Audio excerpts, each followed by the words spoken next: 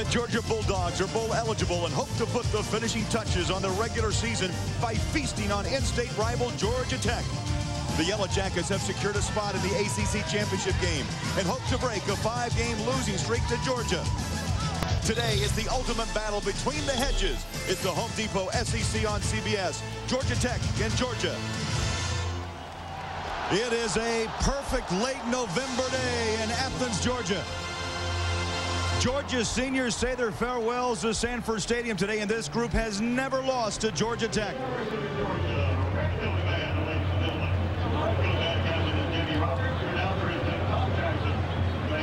But the 15th ranked Yellow Jackets plan to spoil the Bulldogs' day.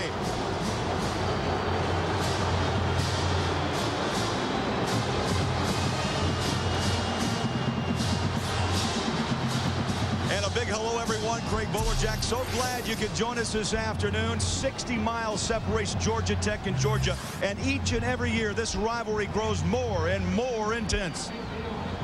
Growing up here in Georgia, you know, um, you get kind of get an idea, you know, of how big of a rivalry is, but you don't really understand till you get here, you know, to Tech, you know, and it's kind of like a genuine, like dislike for the other team. It's Georgia Tech. I mean, we can't stand each other. It's the biggest thing in Georgia. It, it really sets the tone for bragging rights all year round. And for the past four years, you know, we haven't been able to get away from the fact that, you know, we lose to these guys. I don't want to be the senior class that, that couldn't beat Tech. Uh, that's, that's for certain. This is like the Super Bowl, you know, for both teams.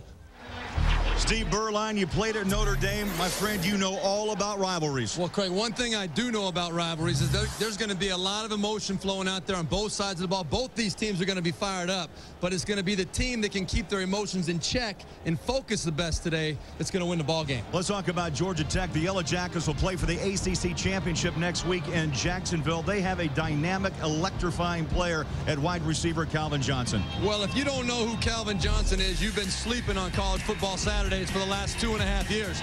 This guy is six foot four, 235 pounds, runs a 4.340, and he is dynamite in a bottle. This guy is a guy NFL scouts are drooling about, and everybody on the Georgia defense, I guarantee you, Craig, today will know exactly where number 21 is on the football field. And a finalist for the Biletnikoff Award. Now, how about Georgia? Up and down season, turnovers have hurt, drop passes have hurt. However, two weeks ago, Steve, they rallied and beat a very good Auburn team and really helped make their season. Well, it couldn't have come at a better time. Coming off a, a terrible loss to the Kentucky Wildcats the week before, Mike Richt's team was at an all-time low under his leadership. They'd never been that low, but they came out against Auburn. They played loose. They played free. They made interceptions. They made Auburn look terrible. They smacked them upside the head the whole day, and it was a very, very productive win for them, led by this freshman quarterback, Matthew Stafford, number seven, a guy who his coaches compared to ability-wise, Dan Marino, John Elway, but obviously this kid has a long way to go before he gets there, but he had his best game of the year against Auburn, and they're hoping to build on that today.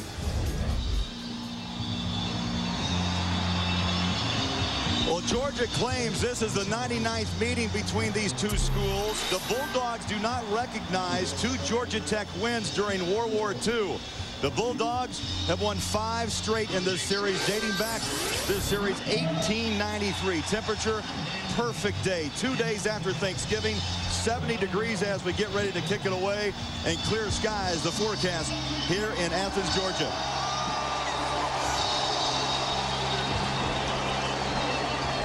Georgia Tech 9 and 2. They come off a win over Duke last week by 28. Georgia 7 and 4.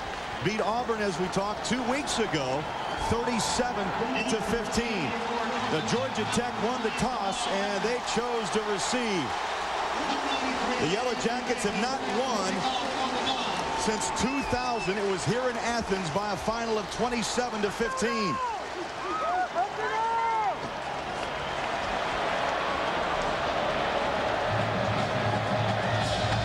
Georgia Tech from the ACC and Georgia from the SEC.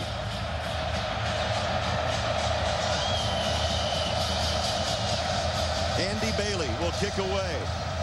Jamal Evans awaits. 92,000 strong on hand as we get ready to go. Between the hedges, Georgia and Georgia Tech. Short kick. Evans on the run at the 10. 25 up the middle of the 30. Breaks on his feet to the 41-yard line. Knocked down by Asher Allen.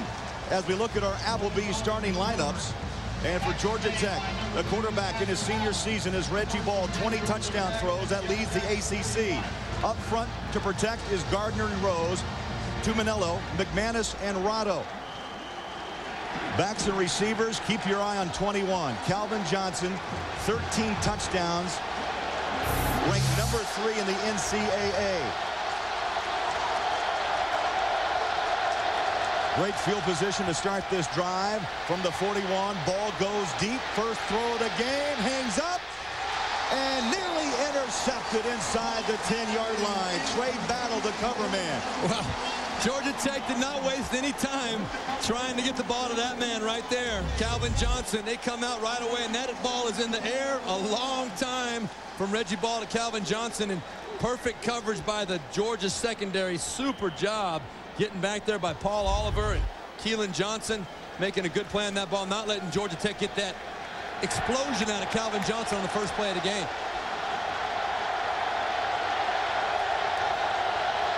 Two wide receivers near side. Calvin Johnson. Ball steps up and throws. It's caught. Chris Dunlap. And Dunlap is driven back. Back at the 48-yard line. Let's set that Georgia defense for you this afternoon. Led by Charles Johnson, Dell Dixon, Ray Gant, and Quentin Moses, who has 24 career sacks. Good linebacking core. Tony Taylor out of Watkinsville, Georgia, and the secondary of Evans, Johnson, Battle, and Oliver.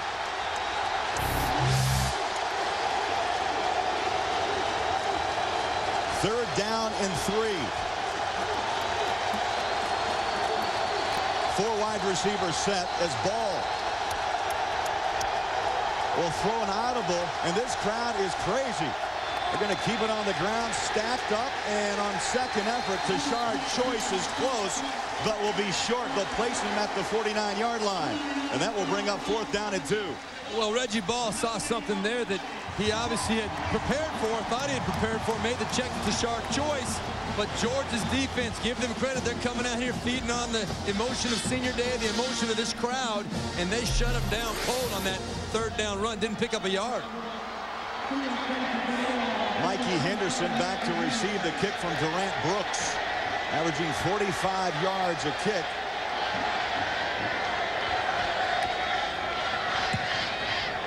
Gets a leg into it. High hanger. Fair catch at the nine-yard line. And for Georgia, Matthew Stafford, the freshman, a true freshman from Dallas, Texas. 12 interceptions on the season, five touchdowns up front. Shackelford, Velasco, Jones, Adams, and Inman will protect their young quarterback. Craig Lumpkin, 105 yards and a touchdown two weeks ago against Auburn is the tailback. A.J. Bryant, Mohamed Massaquoi, your wideouts. Keep an eye on this Tech defense. Steve, as you know, they will blitz 75% of the time, and they really want to play games with this freshman, Matthew Stafford. Keeper. Trickery. First play out of the gate. What a great play fake by Stafford to the 29-yard line. You know, Craig, you said a great play fake. I was sitting there watching Lumpkin myself. I did not know that Matthew Stafford has the ball. You'll see that everything's going to be flowing this way, and Matthew Stafford makes the fake and keeps it around the right side. Watch the pursuit by Georgia Tech. None of them think that Matt Stafford has the ball. He's 15 yards up the field before they realize that this big number seven is coming around the corner with the football. One way to calm the blitz. There's a lot of ways you can calm the blitz, but right there was a good start, I'll tell you that. A 20-yard gain by Stafford and Georgia with a first down to the 29-yard line. Yellow Jackets show blitz. And a trip taken down is Lumpkin by the middle linebacker, Philip Wheeler. At Georgia Tech defensively, Robertson, Richard, and Anoai and Oliver. They've combined for 29 sacks as Tech defense. Hall, Wheeler, and Guyton, your linebackers. And the secondary, Roberson, Lewis, Jones, and Kenny Scott. Yeah, 29 sacks this blitzing Georgia Tech defense. Second down and eight after a pickup of two, and Stafford will line up in the shotgun. Steps and throws, a one-hopper incomplete to Massaquoi. And let's go above the line. Well, for the Georgia offense, it starts with Matthew Stafford right there. Don't give it away, Matthew Stafford. Turnovers have plagued this team all year. He's got to play smart if this team wants to have a chance to win.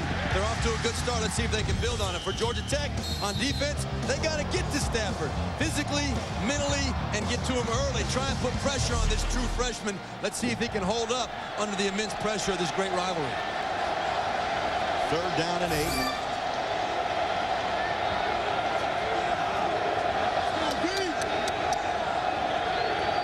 Stafford changing the plays. Steps up. Same pass. That was a hop and a skip miss on second down. Close to a first down is Massaquoi. And that one was delivered with a little bit more confidence. Third and eight, a situation where the Georgia Bulldogs coaching staff offensively, Patrick Nixon, Mike Richt, they don't want to see Matthew Stafford in third and long very often, but right there he threw a, strike. He stood strong in the pocket, made the right decision, the right read, saw the one-on-one -on -one coverage on Massaquoi, and threw a good pass out there for their second conversion today.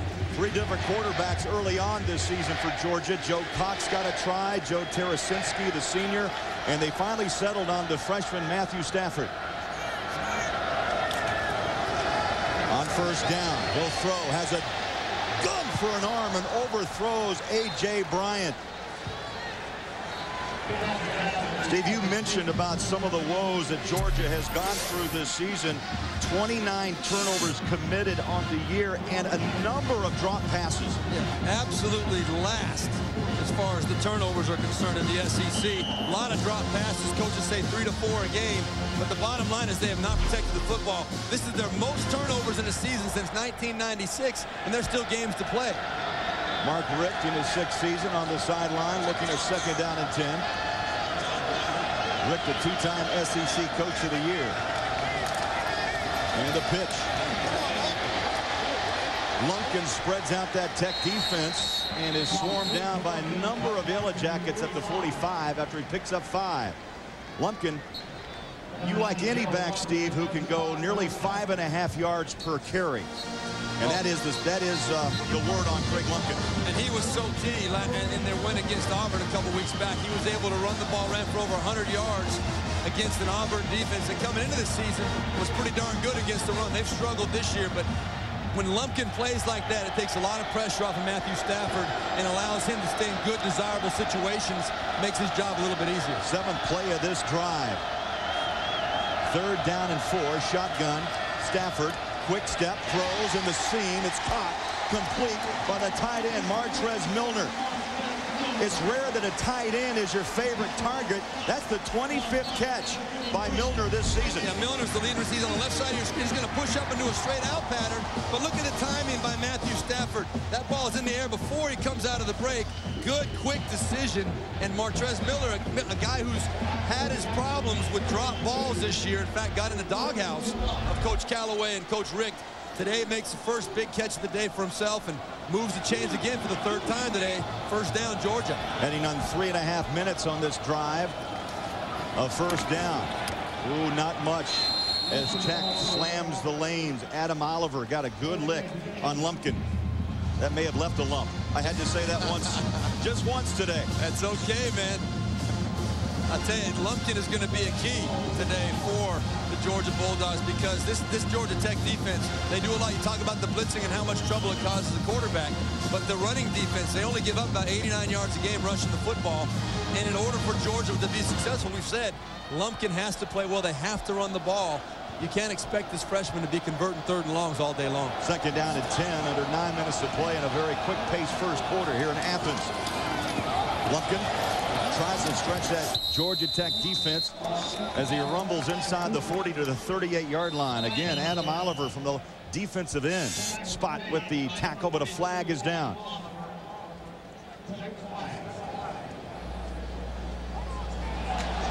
Ooh, not a good, not the good kind. Personal foul.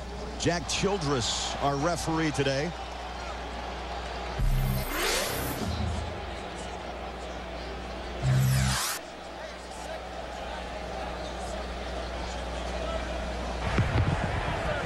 At the end of the down, dead ball, personal foul, 72 offense. That's a 15-yard penalty. It is now third down. Daniel Inman, the right tackle. You can take CBS Sportsline with you wherever you go on your internet-enabled phone. Access breaking news and in-depth stats, get expert video, live scoreboards, and even manage your fantasy team. Click on mobile at cbssportsline.com. You know, Craig, that's one of those penalties. Too. It could be the emotions of senior day, the emotions of the rivalry. You've got a great drive going right there. You pick up a good four-yard gain on second down, and all of a sudden, after the play, Daniel Inman comes in. He's a senior. He cleans up on somebody a little bit late. Now they're looking at third and 20.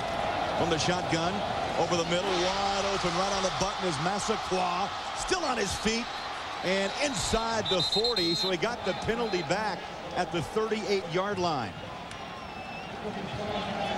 And now Georgia, with the ball being spotted back now at the 43, actually, there's no field goal option here for Georgia. They've got the choice of maybe trying to go for it, but fourth and 10, they'll punt it, try and pin Georgia Tech back inside the 20-yard line, try and play the field position game here. Gordon Ely Kelso will punt. Andrew Smith, number 83, at his own 10-yard line for Georgia Tech. Low snap, little pooch punt, high, high hanger. And fair catch at the 16-yard line. A 27-yard kick. Good touch on that pooch. In Athens, Georgia Tech and Georgia, scoreless on CBS.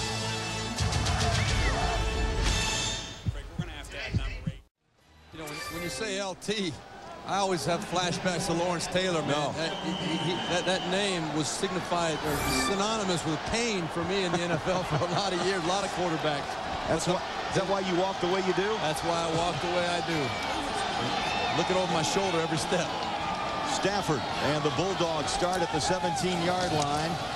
They will try to establish the run. Lumpkin maybe a yard, and he was hit right on the numbers by Wheeler, Philip Wheeler, Wheeler, the middle linebacker. And that was that was a solid hit, as you said.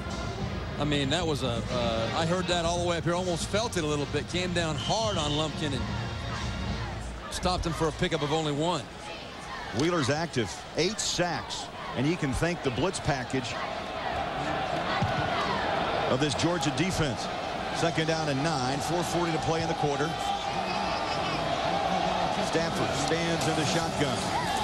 Throws a dart far sideline. Caught. Nearly dropped. And now they're going to say incomplete. Mario Raley had that ball in his hands. It came out, and then as he hit the ground, came out. And it might not look like much. It was only going to be about a six or seven yard gain, but this is what has plagued the Georgia offense all year long. Drop ball. That ball could not have been thrown any better by Matthew Stafford out there in the flat. He's going to catch that ball, turn up, and get it to be about a third and two situation. Much more desirable for Neil Callaway and Mike Richt because they know Matthew Stafford, now that you have the run option, the pass option, now he's looking at third and nine, backed up. They're stressing about this right now, I guarantee you. Georgia two of three on third down conversion. Stafford feels the blitz that sets up a screen. Watch out, first down, 32-yard line. Lumpkin doing his thing and Matthew Stafford took a shot right in the chops, but they had the right play called right here. They came with the blitz. Jamal Lewis off the slot right here, coming, boom, up the field. He's going to get a clean shot on Matthew Stafford right in the mouth. Look at that, boom. Stafford lets go of it at the last minute, but what a great call right into the blitz. They let the blitz come by. Matthew Stafford gives a little bit of ground, buys some time. Good accurate throw over the top, and there's nobody left on that side of the field because they were all blitzing. Perfect call. 16-yard pass play, first down, Georgia at their own 34-yard line. Back to the ground. Lumpkin wrapped up. He'll lose a yard, maybe two. Back to the 32-yard line. Daryl Richard, Adam Oliver teaming up on that front line to knock down Lumpkin. And this is a very good Georgia Tech defense. The only team that really made them look bad this year was the, the Clemson team, and that was uh, an aberration, total aberration for that team this year. We got a hurt player in the field right now. That's big Ken Shackelford, yep. the senior left tackle, 6'5", 325.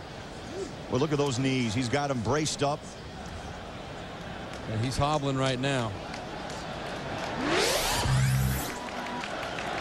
And that would move if if Shackelford needs to come out for an extended period. That would move Fernando Velasco, their starting left guard, out to the left tackle position. And they'll bring in number 76 Seth Watts in Velasco's place.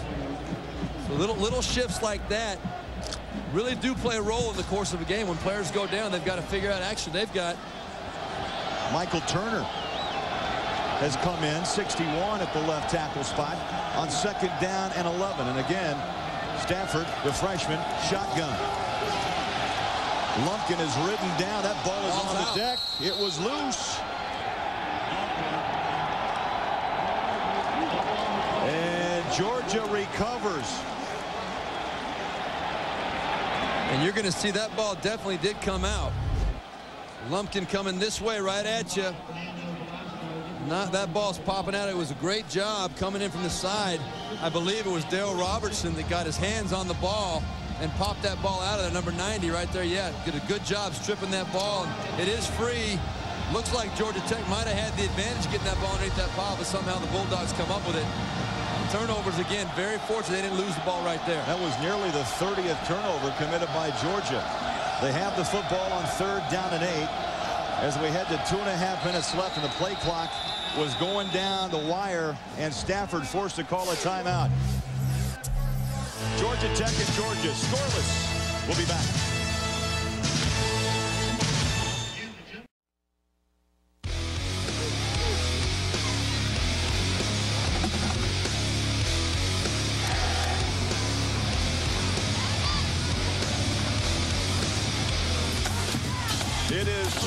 Tech and Georgia, 2.31 to play in the opening quarter.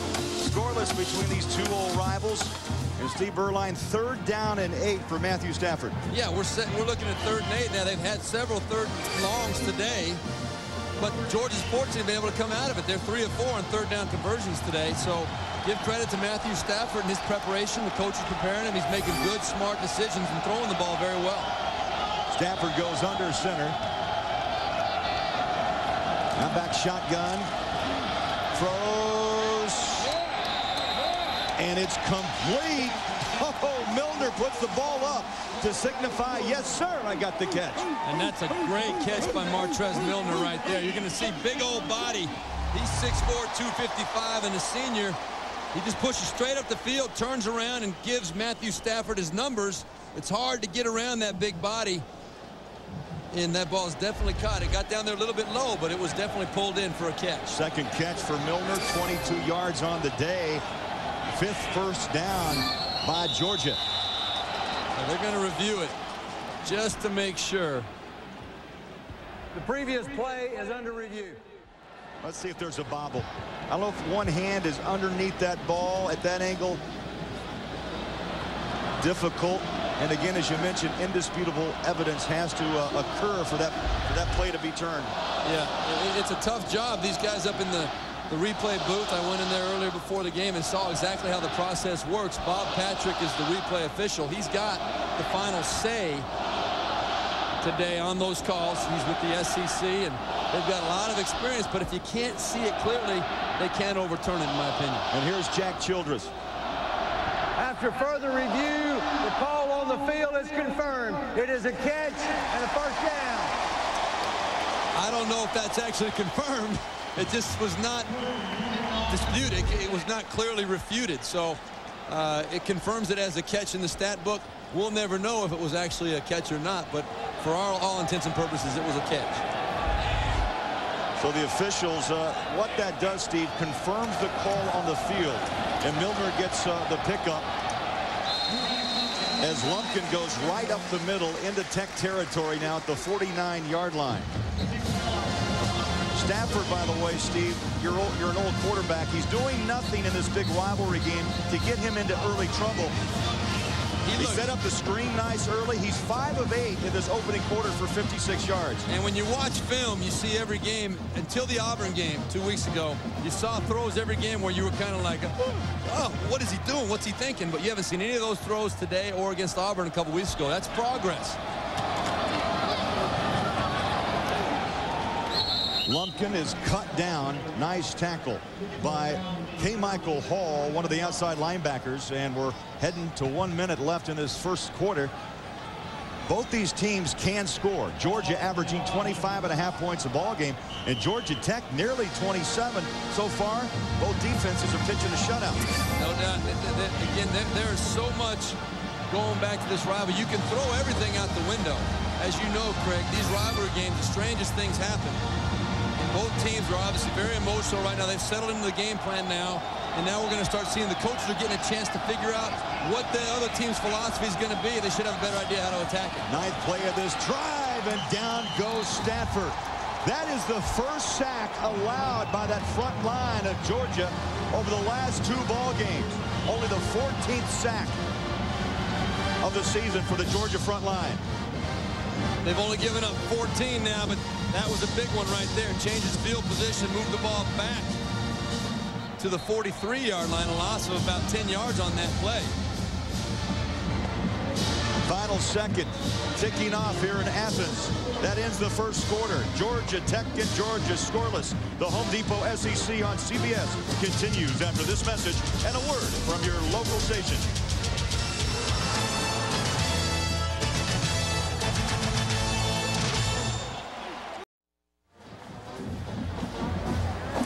Big welcome back to Athens, Georgia. Georgia Tech, Georgia scoreless early seconds here of the second quarter. Craig Bolerjack, Steve Beuerlein, glad you're along with us today. Georgia in that opening quarter dominated time of possession, and they also held Calvin Johnson to just one pass attempt from Reggie Ball. Only one ball attempted in his right. direction. Reggie Ball's only completed one pass for seven yards. Georgia looks very comfortable offensively. They're converting third downs. Nothing on the scoreboard yet, but they're moving the ball. They're running it well. Matthew Stafford has made good decisions They've looked like the better prepared team to play today to this point.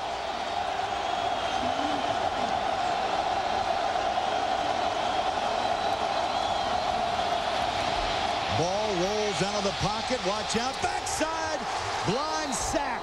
I don't know if we saw Brian Evans coming or not, but Evans unloads. I'll tell you what, what one thing you do not do if you're a quarterback, this is a dash rollout. It's you sell them on the drop back initially, then you spin out of there, and the offensive line is setting up to protect you, but you can't pull up and hold the football. You're going to get your head ripped off. He almost got his head ripped off by Brian Evans, number three, coming across. He ducked, felt it at the right time. But Reggie Ball has played enough to know that if you roll out like that and you hold that ball for very long, you're running a severe health risk. You're going to get hit and hit hard probably. A loss of nine on the sack is Ball. Sets up in the shotgun, throws. Far sideline, it's caught. Calvin Johnson makes his first grab of the day. Tim, as you know, Oklahoma wins. Sooners play Nebraska for the Big 12 title. Texas has been uh, was shocked two weeks in a row. Third down. Oh! Dropped along the sideline. James Johnson was just leveled by Tra Battle. You know what, Craig? This was really made by Tra Battle. James Johnson should have caught this ball. You'll see he gets what's called alligator arms. He knew Tra Battle was coming. He didn't want to stretch out and catch that football. I'm not knocking him because I don't think I would have wanted to catch that football with Tra Battle coming over me either, but that ball should have been caught. A receiver on the outside has to go up for that football and pull it in. It was delivered right on the money by Reggie Ball. Durant Brooks will punt. Mikey Henderson at his own 25-yard line.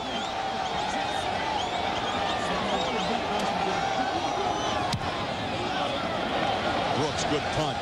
Henderson pedals back, takes it at the 14-yard line.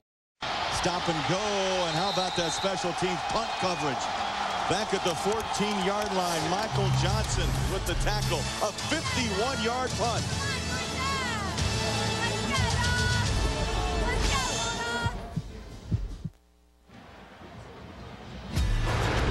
take a look at our SEC moment presented by Sonic.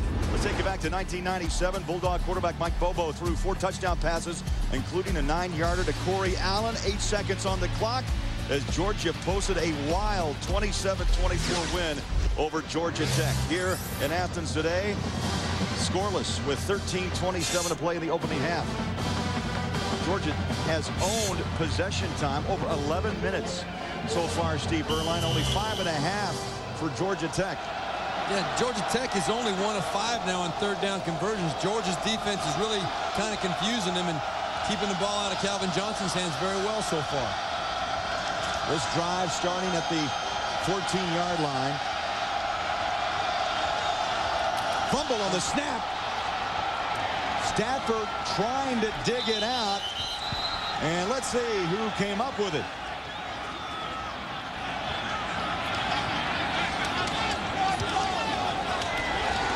Georgia Tech football. Oh. oh, what a break. And there is one of those turnovers that has bitten Georgia all season long. Nick, jo Nick Jones, the center, and Matthew Stafford, the quarterback. Just a bad exchange. You're going to see the ball never gets Matt, Matt Stafford. The ball goes straight down to the ground. I don't know where it hit him.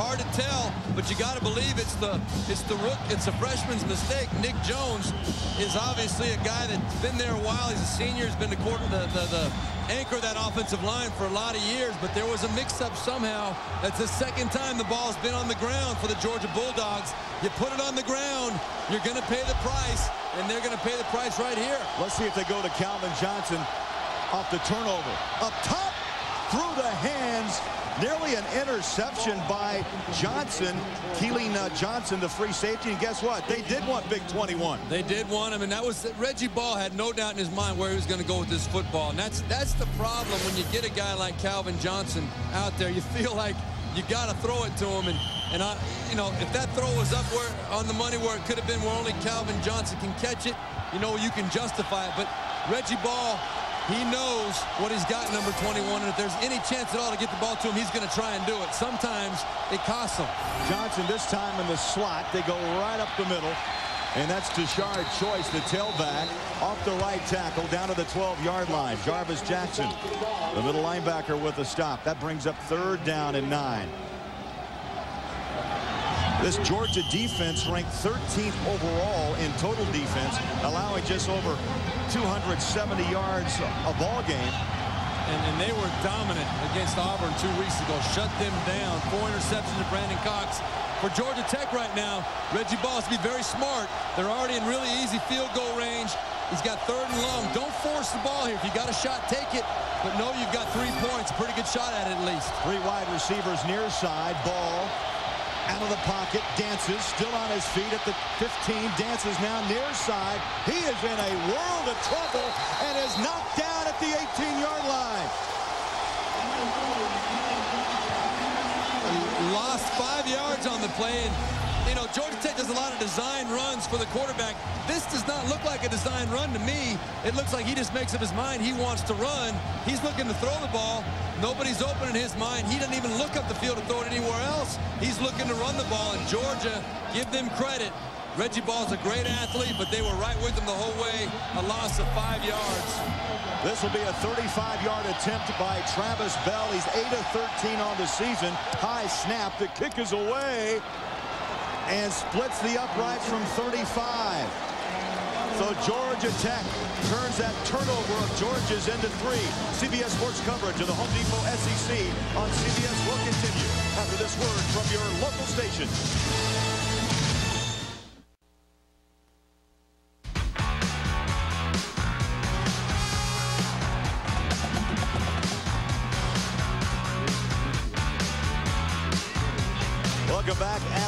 Georgia.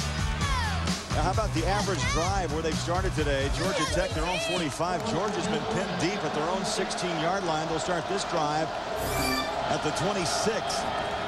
Play action. Stafford chased down the pocket, in trouble. Sidestep trouble. Now he throws, and it's incomplete. The numbers on Stafford, Steve, 5 of 9, 56 yards. And Georgia looking at second down and 10. Number that won't show up on that last play, Matt Stafford, his, his athletic ability. He's a big guy, 6'3", 228, got the big barrel chest, kind of like John Elway. And he moves pretty well. He avoided a couple of couple of opportunities at the sack and then made the smart decision throwing the ball away, keeping it from being a bad play. Second down 10, 26-yard line. Under 11 minutes to play, and a quick throw incomplete right off the numbers of Mohamed Massaquoi.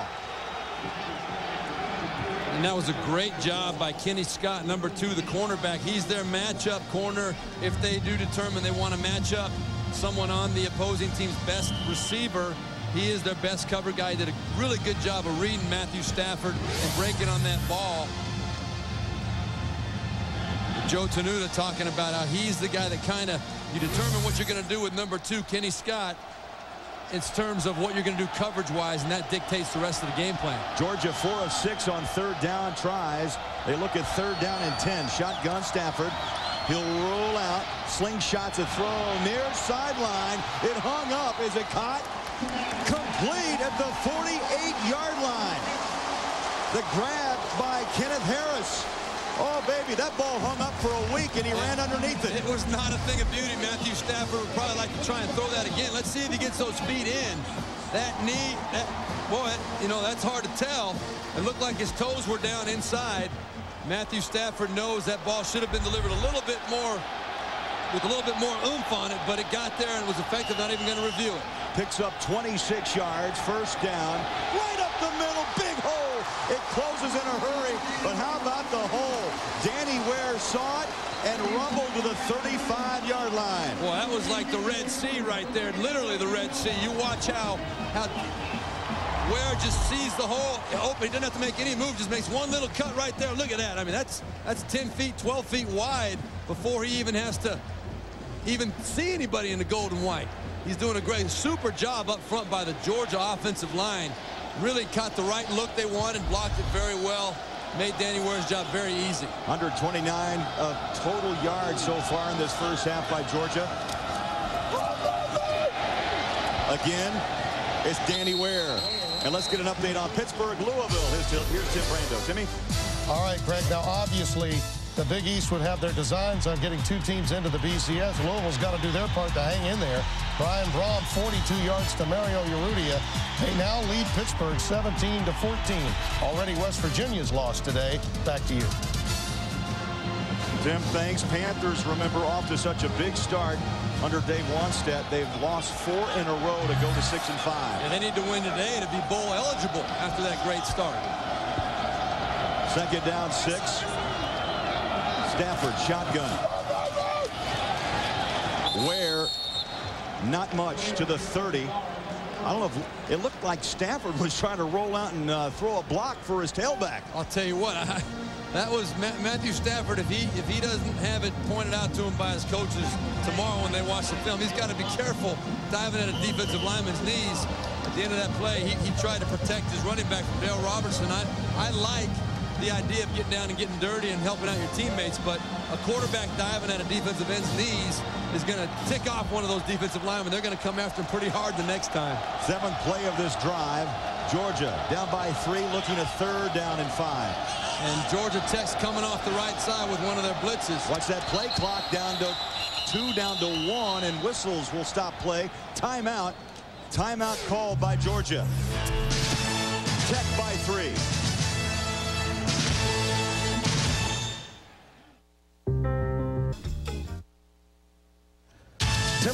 New York. Coming up on the Geico Halftime Report, Spencer Tillman, Archie Manning, and I will get you caught up on all of today's action, including Oklahoma trying to get into the Big 12 championship game with a win over Oklahoma State, currently leading 20 to 14 right now. Back to Georgia Tech and Georgia.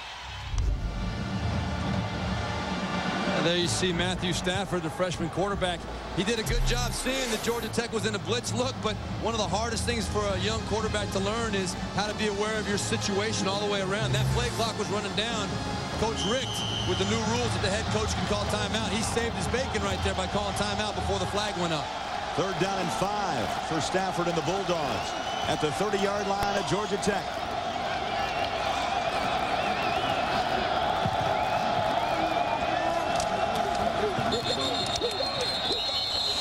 Flags, or at least whistles. Yeah, there's a flag far sideline. Stop that play.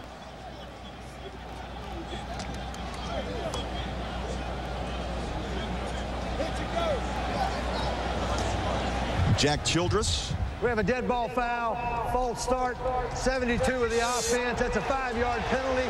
It's still third down. Daniel Inman, the right tackle. You hate to talk bad about those old linemen. They work so hard. You only hear about them when they do something wrong, but he's made two two big mistakes three, so far. Three flags for Georgia, 30 yards in this opening half of play. Again from the shotgun, Stafford steps up in the pocket, has man coverage of the end zone, incomplete. He wanted Massaquoi, and good coverage by Kenny Scott, but it shows you there, Steve, how strong Matthew Stafford's arm is. Yeah, but he'd like to have that one back again. I mean, that, that ball, he saw the pressure coming off his left side, did not trust his protection, even though Danny Ware did pick it up, the blitz coming off his left side. He kind of short-armed that ball out there. If he puts it out in front of him, you got to give your receiver a chance to go up and make that play. That ball was thrown five yards out of bounds. No one had a chance to catch that football. That's just experience, though. That's that's Matthew Stafford not 100% trusting his protection on that play to allow himself to step up and throw that football. Andrew Smith back to receive the punt from Gordon Ely Kelso. Another pooch kick. High, high hanger. Takes a bounce inside the 15 and down at the 11-yard line.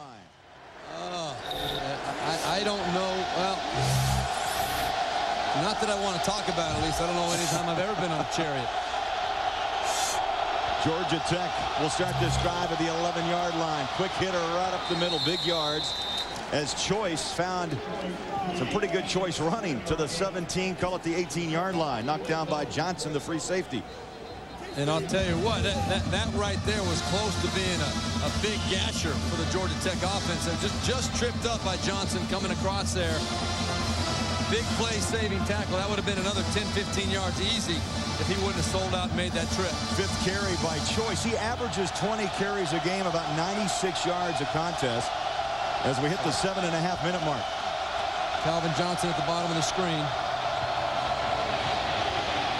Bouncing out of a tackle. Choice to the 20, short of the first down. They'll bring up third and short. And one, two, three, four, five red helmets making contact with Tashard Choice. And so far, Georgia's defense has been able to hold Calvin Johnson. Big, big third down attempt right here for the Georgia Tech offense. They've got to do something to get their confidence up. You got Calvin Johnson in the slot. Third down and one. Quarterback keeper Reggie Ball throws that 195-pound body into the middle, and it's a first down, Georgia Tech.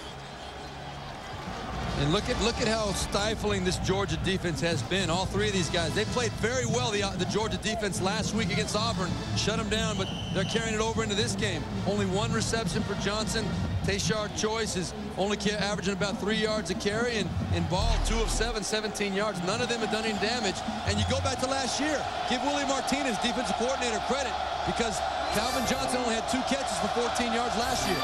Ball sets up and throws. A little stumble. Oh, reaching out off the fingertips.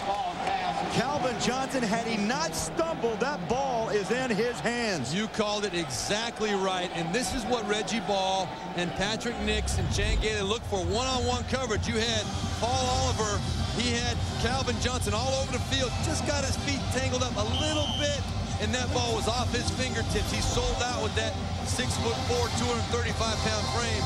Still almost made the catch, but if he doesn't trip like you said, Craig, that ball is still going down to the end zone for Georgia, or for Georgia Tech, and I don't think anybody's going to run down 21. Only one reception, 10 yards in the first half for Calvin. There's a nice hole. Choice, weaving, stumbling to the 40-yard line. Paul Oliver everywhere. He was on the coverage for Calvin Johnson that came up from the corner to make the stop. Yeah, and I'll tell you, if you got your corner on the outside matched up on Calvin Johnson, he's making the tackle on Tashard Choice on a running play at the middle of the field, you got problems. You don't want your corner having to save the save the, the team with a with a, a, a tackle 20 yards up the field. Good job of blocking by the bull, Mike Cox, the fullback, getting Tashard Choice up there in the line of scrimmage and another good solid pickup. Third first down of the afternoon for Georgia Tech. They want more. And the holes are beginning to pop open for Tech's ground game. Yeah, I, I think Patrick Nix the offensive coordinator for Georgia Tech now. He's gone through his feeling them out period. He says the first 10 plays or so, a couple of drives, you're trying to get a feel for how an opponent's going to play you. Then it gives you an idea how you're going to attack them. They're moving the ball very well right now. That's even interesting change this season for Georgia Tech. Patrick Nix given the play calling duties from the head coach Chan Gailey. Yeah, Chan Gailey said, you know, as a head coach these days, the demands are too much. It's hard to keep up with all the trends and the opponents during the offseason. Choice again. Bounces off one tackle. And the Yellow Jackets on the move as they push the Bulldogs to the 39-yard line. And they're running right at him right now. And on that point we were talking about, Craig, Chan Gailey has always been the play caller. Hard for him to give the duties, and Patrick Nix obviously doing a great job right now. That's just a straight up the middle called a wham play, number 48, coming in from the right side, left side. Michael Matthews doing a good job of sealing off the right side and allowing Tashard Choice to get up in there. And Patrick Nixon seems as though he's getting a feel for what Georgia's doing. This has been a choice drive for Georgia Tech. Ball sets up, throws deep. A little push into the end zone. Incomplete is the call. Wow. What a body contact. James Johnson, the intended receiver, and Bryan Evans gave him a bump or two. You know, I, I would have been asking for a, a little PI on this one myself. Bryan Evans, he's right there, but watch the contact. He's got a little bit of contact before that ball gets there. It looked like he was definitely hanging on his shoulder. That flag could easily have been thrown right there. It would have been, it wasn't an obvious, flagrant, blatant PI, but he definitely made contact with the right choice of Johnson before the ball got there. First four drives. How about that? Only 16 yards. Tech has stacked up 50 on this drive alone. Ball fakes it into the middle. Little option and no gain at the 39-yard line. Good read by the middle linebacker, Jarvis Jackson. And that right there was a design run for Reggie Ball. They faked the ball into the right side, and he pulls it down the left side almost like an option, like you said, Craig. But very well disciplined play by the Georgia defense. They weren't fooled at all. There's nothing that Georgia Tech has done to this point that's caught this Georgia defense off guard.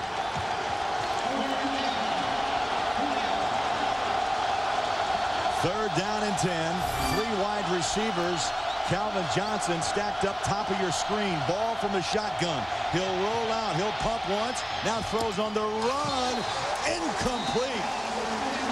And on the back of Calvin Johnson, get Paul Oliver some credit.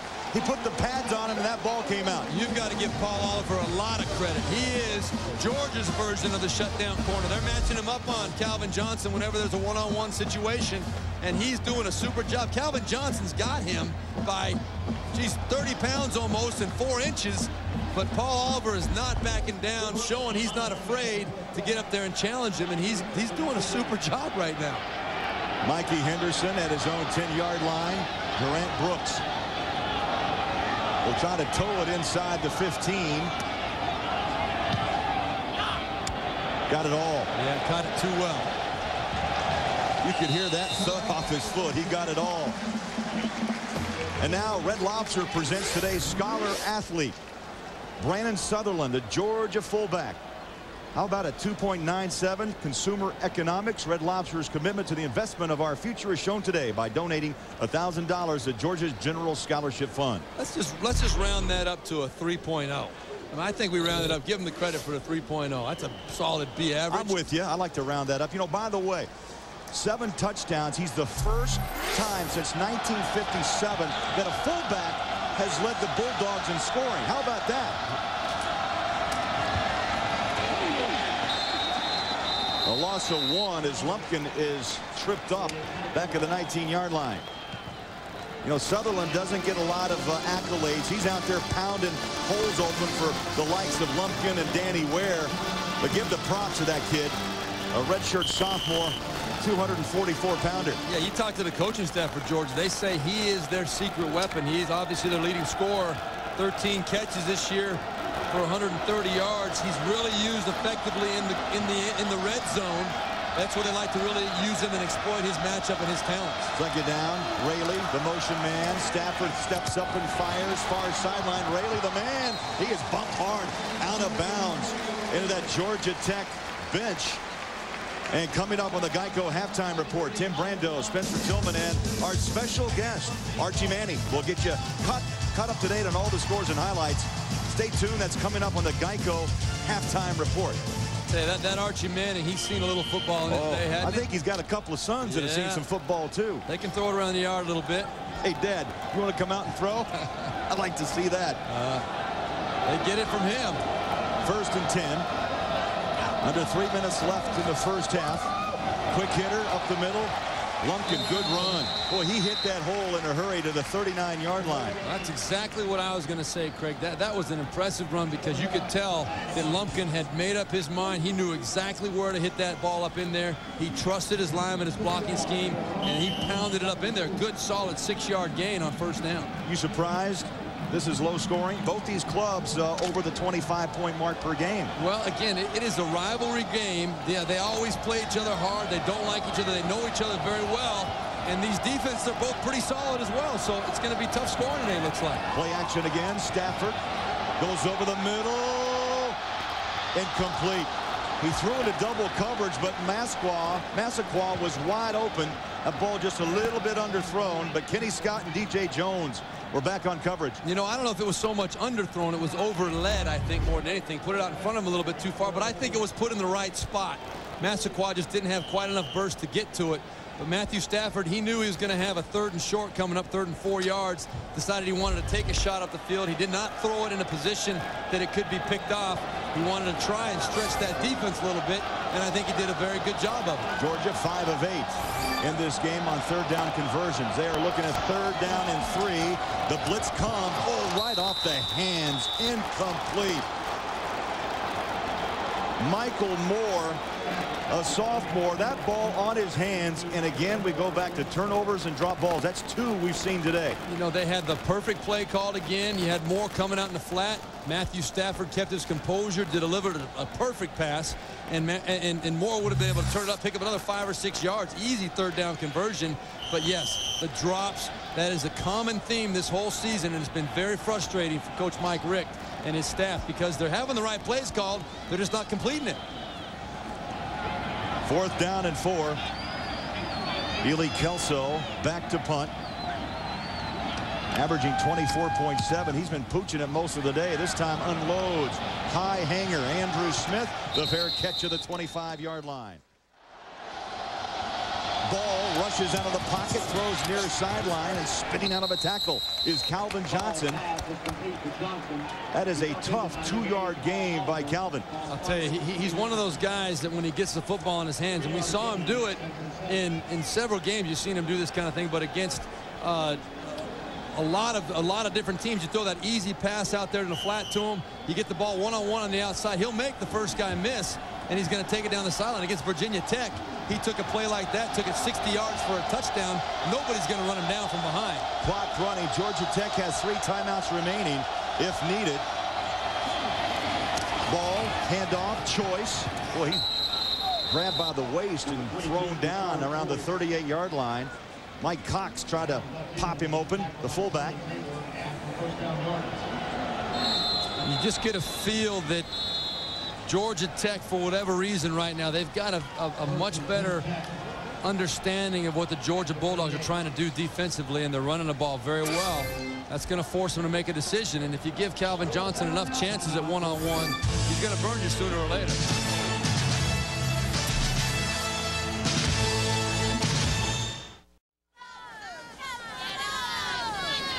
Eleven seconds to play, and Chan Gailey let that clock run. They call timeout, and now punting with 11 seconds left in the first half. And it's the right call. You, you disassociate yourself from it emotionally as an offensive player. I want to go for it, but Georgia doesn't even have anybody back. They're making sure there's not a fake possibility. Chan Gailey wouldn't let the clock run down if he was going to fake it. Brooks punts. High hanger. Takes a bounce. Still alive at the 12-yard line as we tick it down to the end of the first half. Surprisingly low-scoring ball game here in Athens. That ends the first half. Georgia Tech will take a three-point lead into halftime. We now go to Tim Brando in our New York studio. Tim?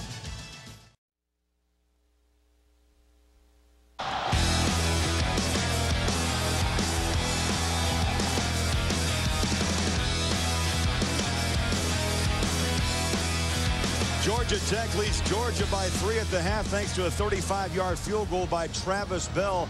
Craig Bolerjack, Steve Beuerlein. These teams can't score. You a little surprised this has been a defensive ball game? I'm surprised because there's a lot of talent on the field offensively, but you got to give credit to both these defenses. They're playing very, very well. And we'll start by talking about the Georgia Tech defense. I mean, they have identified the, the problems, that they, the areas they think they can attack. They're trying to get pressure on Matthew Stafford. You can see he's made good decisions for the most part, but they've been able to get to him. Now, Georgia, Calvin Johnson has not been a factor. Tra Battle right there pounding James Johnson and Reggie Ball trying to run it a little bit, has not been able to get that, that game going. The bottom line is both defenses are dominating right now. As we look at our Dell halftime stats, uh, yards tough to come by. However, Georgia 150 to 87 so far in this ball game. Yeah, it, it, the stats all build themselves up to be the fact that the, there, there is defense being played on the field. Calvin Johnson has not been a factor so far. Two catches, 13 yards.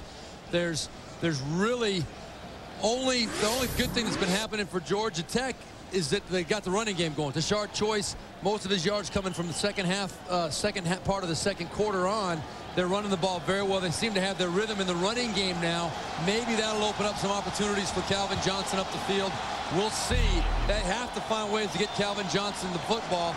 Georgia, on the other hand, They've moved the ball very well. They've just not cashed in on the opportunities. They've not gotten the ball down into good field goal range. They've not had a chance to get that. It's also been a big factor field position. We talked about how Georgia Tech has had the huge advantage field position-wise. We'll see if that can tip a little bit toward Georgia's favor. Last time Tech blanked Georgia in the first half, 1995. It was a 14-0 lead. Bulldogs rallied to beat Georgia Tech in Atlanta 18-17. Third quarter underway. Asher Allen at the five, at the 20. Makes a cut and nearly broke a tackle. Take it down to the 25-yard line.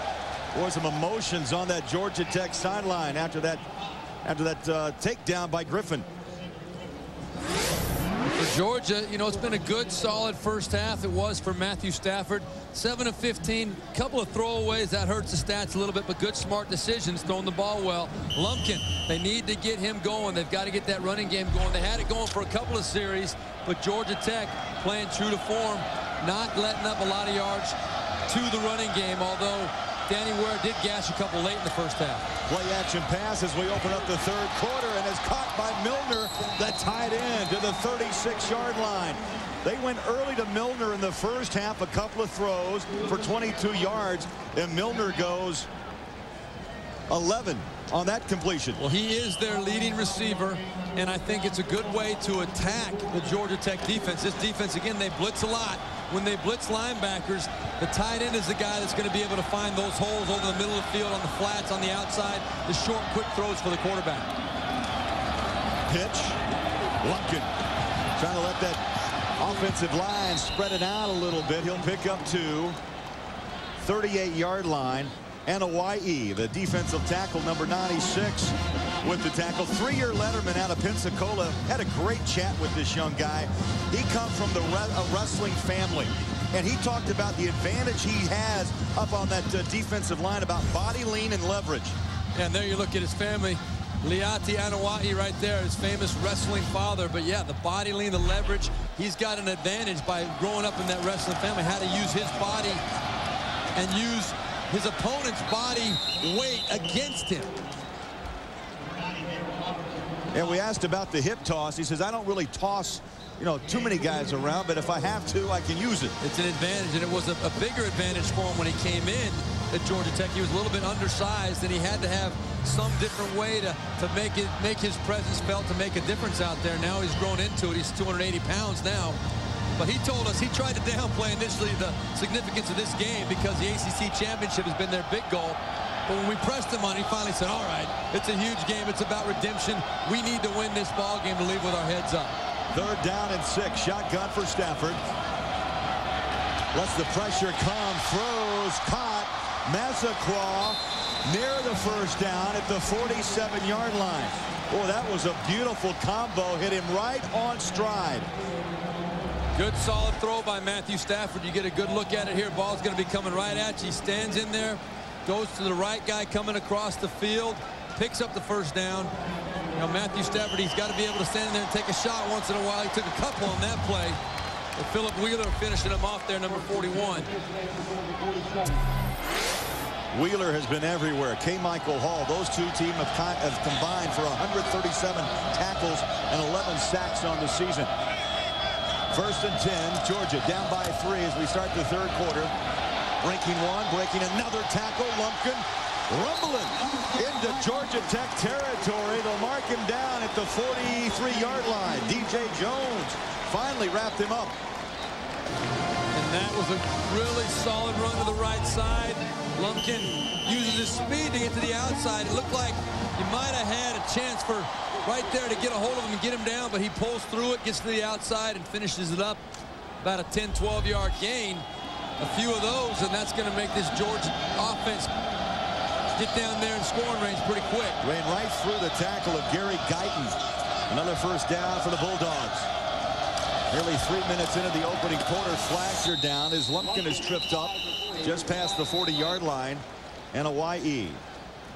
Got him around the shoe tops, and we'll see what the call is from Jack Childress. Offsides, Georgia Tech.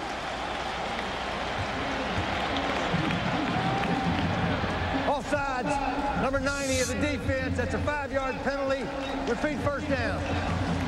Tomorrow on 60 Minutes, the testing of a new pill for the memory. The results could change millions of lives. It's a story you won't forget on 60 Minutes tomorrow.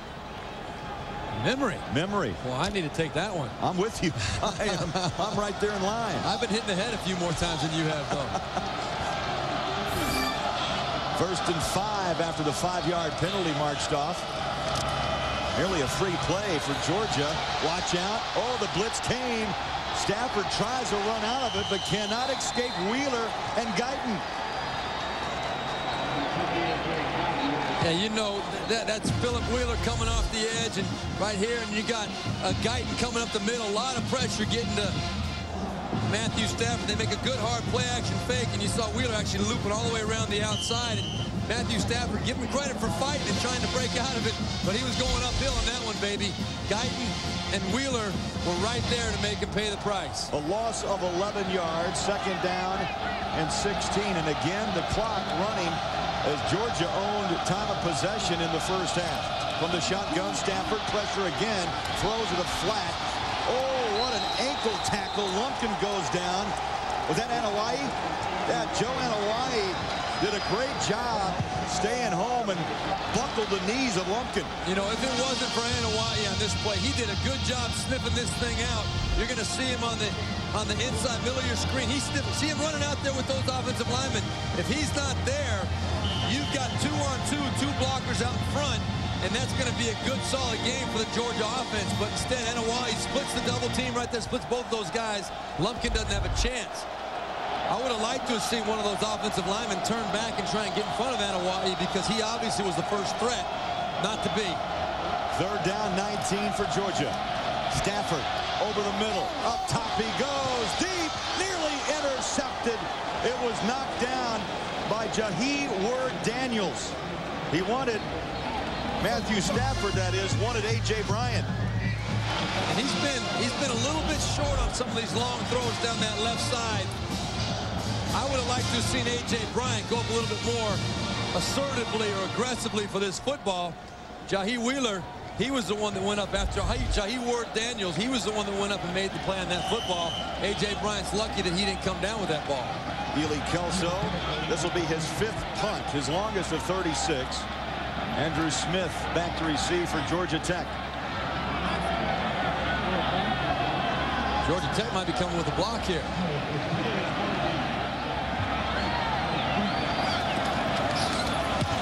Kick is away. Not long, but a high hanger and a fair catch at the 20-yard line by Andrew Smith. So no return off the 31-yard boot. Back to Athens after this.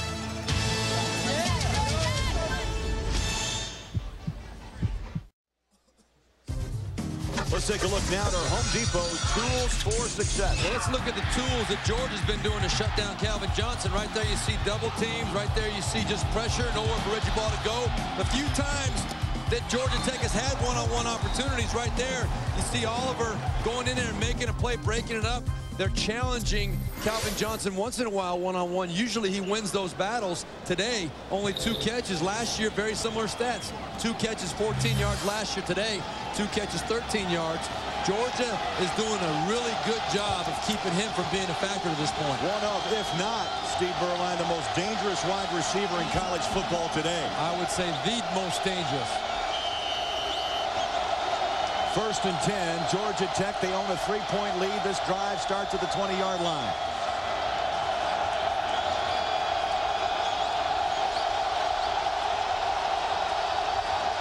Crowd is up and noisy in Athens.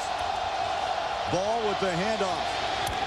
Oh, out of bounds goes to Shard Choice. Let's go back to New York for an update on Oklahoma, Oklahoma State. Tim? All right, Craig, you think they're a little anxious in Texas right now? Here's Bobby Reid, two yards to D'Juan Woods. Oklahoma State cuts it to six under four minutes to play. A loss by Oklahoma and Texas would represent the Big 12 South. Craig. Tim, I agree with you. They are a little nervous in Texas. If Oklahoma wins, they take care of business, Steve. As simple as that. They head to the Big 12 title game. Yeah, but but they, they it's not that easy for no. them right now. Obviously, Oklahoma State making a game out of it. Much more so than anybody thought. Second down, 11. Choice breaks one, a couple of tackles, and he'll be pulled down at the 27-yard line. And that's what Georgia Tech has to do. They've got to be able to run the football when Georgia decides they want to double up Calvin Johnson. When they roll the coverage to where they try and eliminate him from the passing game, Tashard Choice and this running game for Georgia Tech have to make them pay. They did a good job right there. They've got themselves into a third and four. Good solid six-yard pickup. Steve, he was so good last week. Choice only had to play a half in that win against Duke. Yeah. He picked up 118 yards through two quarters and then called it a day. This ain't Duke.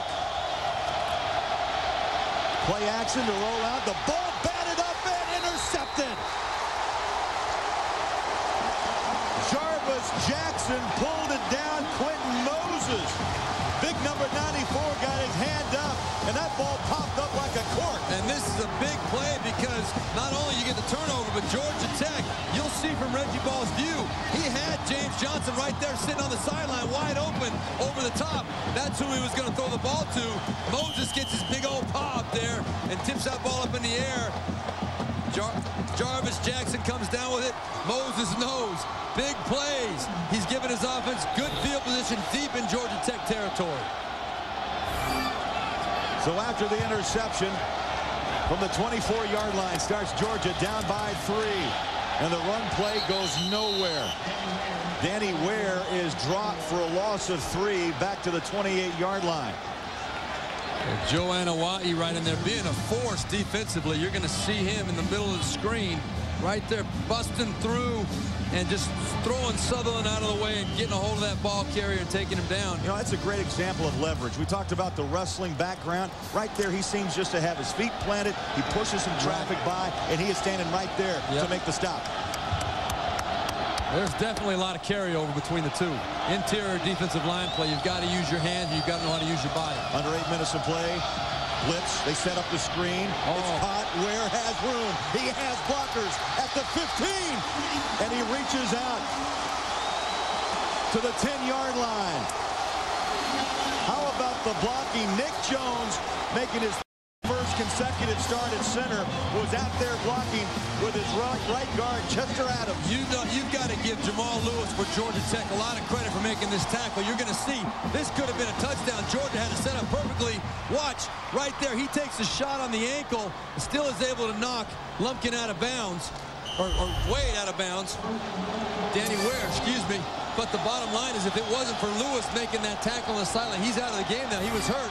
That would have been a touchdown for Georgia. First and goal. The ball just inside the 10-yard line. Stafford sets up, tries to set up the screen and sidearms it to the flat incomplete. Incomplete. Al bring up second down and goal. Well, I like what the Georgia Bulldogs are doing offensively. That's a good way. You asked me earlier in the game, what's a good way to handle a blitz? Well, draw plays, trap plays, screen passes are three options right there. Georgia seems to be feeling pretty good about their screen game right now. That's about the fifth or sixth one they've run today. Right there, again, though, the Georgia Tech defense sniffed it out. Nowhere to go with the football. Now, Georgia offensively, very good in the red zone. 62% of the time they score touchdowns down here. You saw on the sideline Reggie Ball. It was just picked off at the 11th time. That ball was tipped and nearly intercepted and complete. Massaquoi got a hand up. And Kenny Scott was there as well. I'm sorry, Craig. Dangerous throw right there. Matthew Stafford, he was hot, so to speak. They came with a few more people than, than the Georgia offense could block. If you're going to make that quick hot throw, accuracy is a premium. You've got to hit him low, hit him in the chest. Don't get that ball up high because a tip ball down here in the red zone usually translates into interception. Chan Gailey looking on. Third down and goal. Seven and a half minutes to play. Georgia down by three. Knocking on the door from the nine-yard line. Stafford's got to get this snap off. Down to two, just got it away. He'll keep her. stacked up, and on second effort did get to the eight-yard line.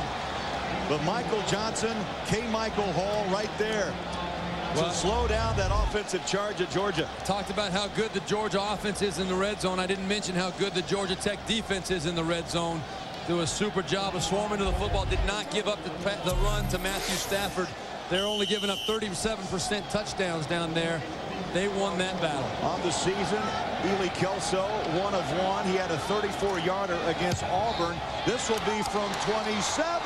And he missed it. No good.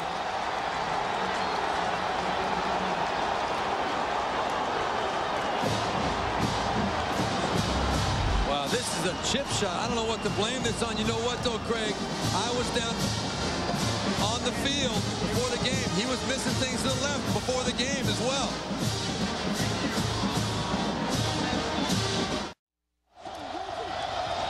Back in Athens. First and 10 as ball runs out.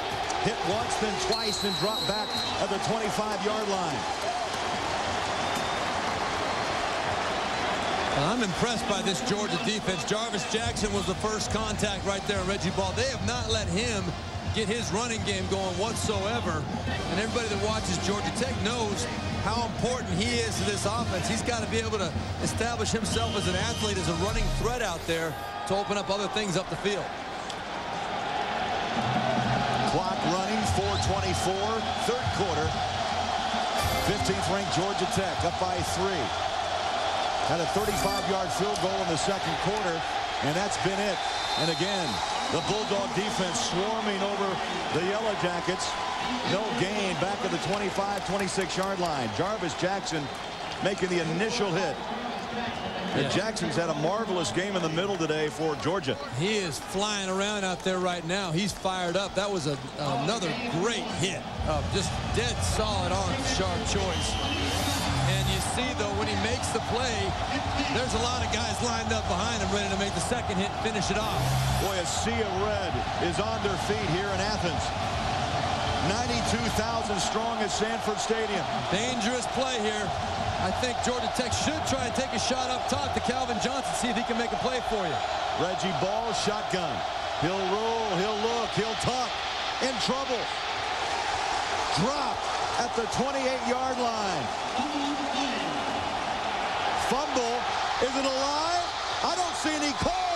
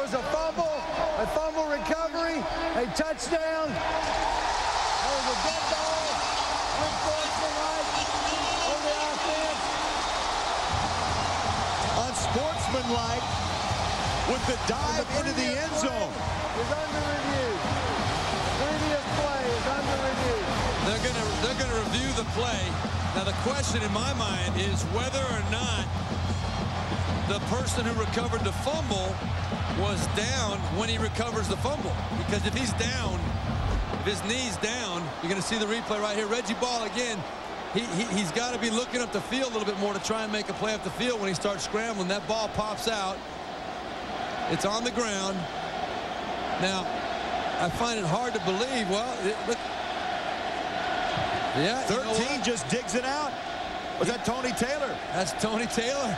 Tony Taylor out. and then there's the flag for excessive celebration. Yeah, well, he never was down. You can see, obviously, that he is reaching into the pile. The ball comes out, no doubt about that. And there's a shuffle and a scrum for that football. But Tony Taylor right there is not down ever. Oh, he's just he just reaches in and says, I got it. He's got a shovel in his hand Pulls and it digs out. it right out. You know what? They got the call right. I don't know about this diving into the end zone excessive celebration, but they definitely, this is a, a legitimate fumble recovery and a touchdown.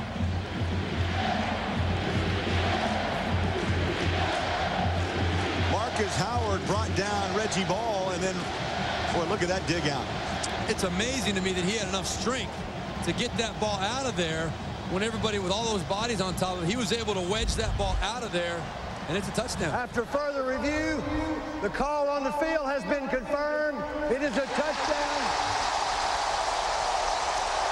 Tony Taylor. We had a dead ball, unsportsmanlike, number 43. That penalty will be administered on the succeeding kickoff.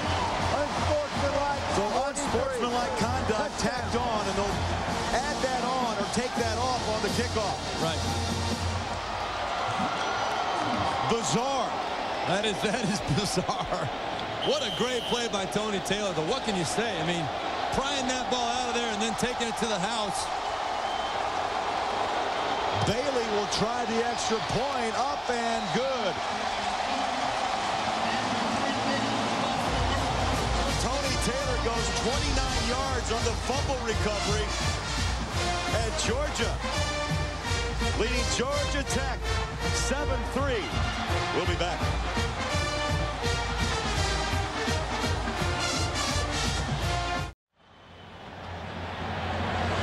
Georgia 7, Georgia Tech 3. Third quarter, 3.10 remaining. A bizarre turn of events as Tony Taylor picked up a, a fumble. It took a while to develop. I will say this, there was no whistle. Taylor went 29 yards for the touchdown. Give the officials credit for that part of it. They did not blow the whistle. That ball was obviously not, not recovered by anybody. They let the play develop and play itself out. Tony Taylor took advantage of it, but I do not agree with the call of the officials for that excessive celebration. That will have a toll on this here. They're, they're going to kick off now from the 20-yard line. Georgia Tech is going to get very good field position as a result of that 15-yard penalty. So from the 20-yard line, Georgia will kick away.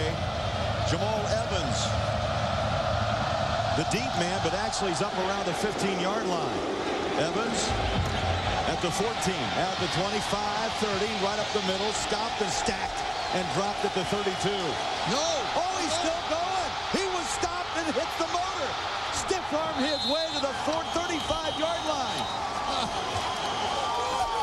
He was knocked down twice, never taken to the turf, broke it, and nearly got into the end zone.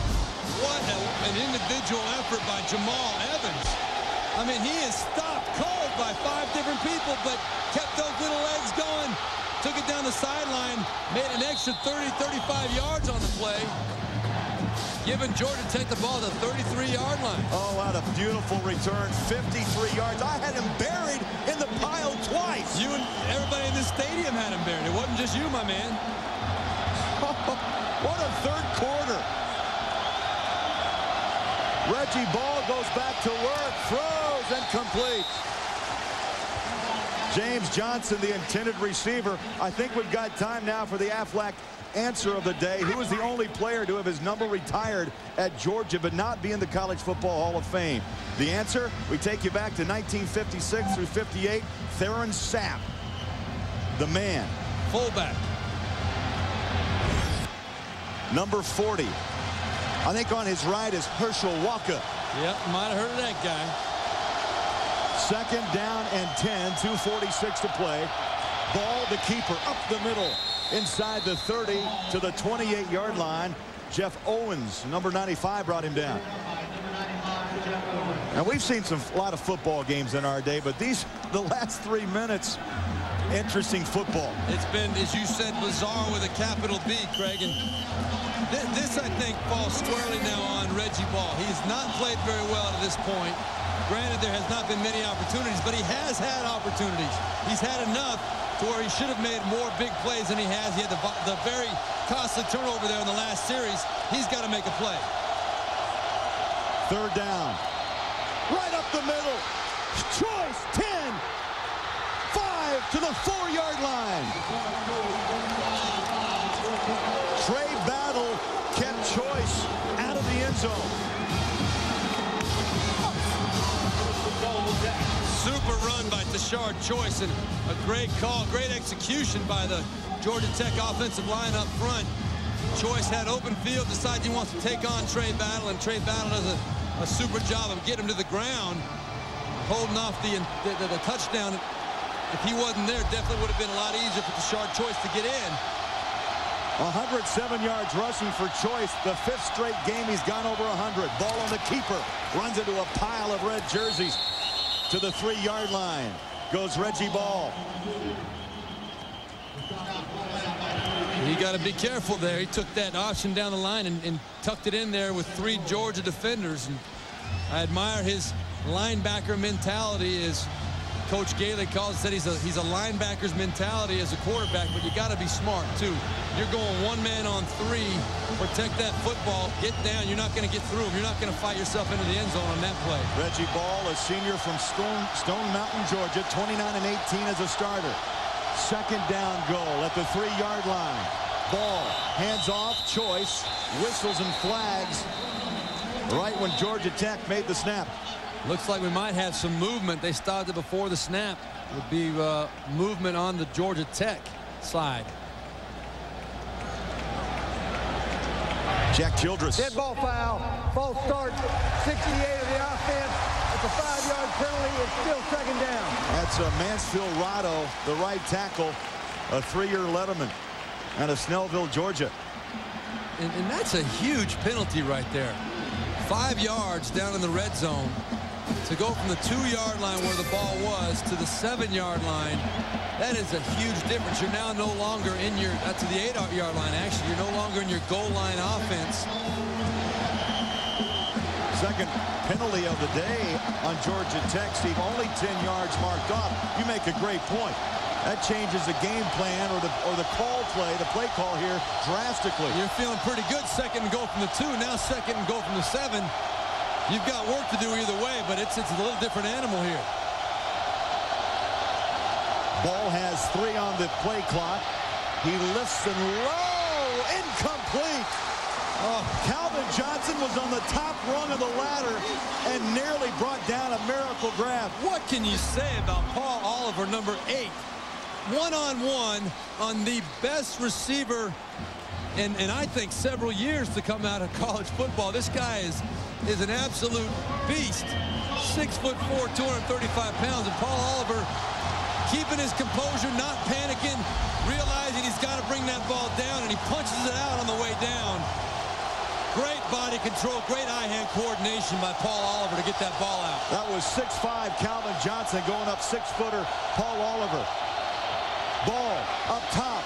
Contact in the end zone. Incomplete. See a flag, and this crowd is crazy. And Calvin Johnson is heated. He's very upset that Reggie Ball did not give him a chance to catch that ball inbounds. He was coming out very upset. But you've got to give credit to Paul Oliver again. He's in perfect position. Calvin Johnson's tripping a little bit, but that ball pulls Calvin Johnson out of bounds. I don't know if he would have made the catch anyway. Oliver had inside position, and he's going up after that football. Give him credit. Travis Bell will attempt a 24-yard field goal. The kick is up and good. And Calvin Johnson is not used to anybody being able to cover him one-on-one. -on -one. Georgia 7, Georgia Tech 6. We'll be back. One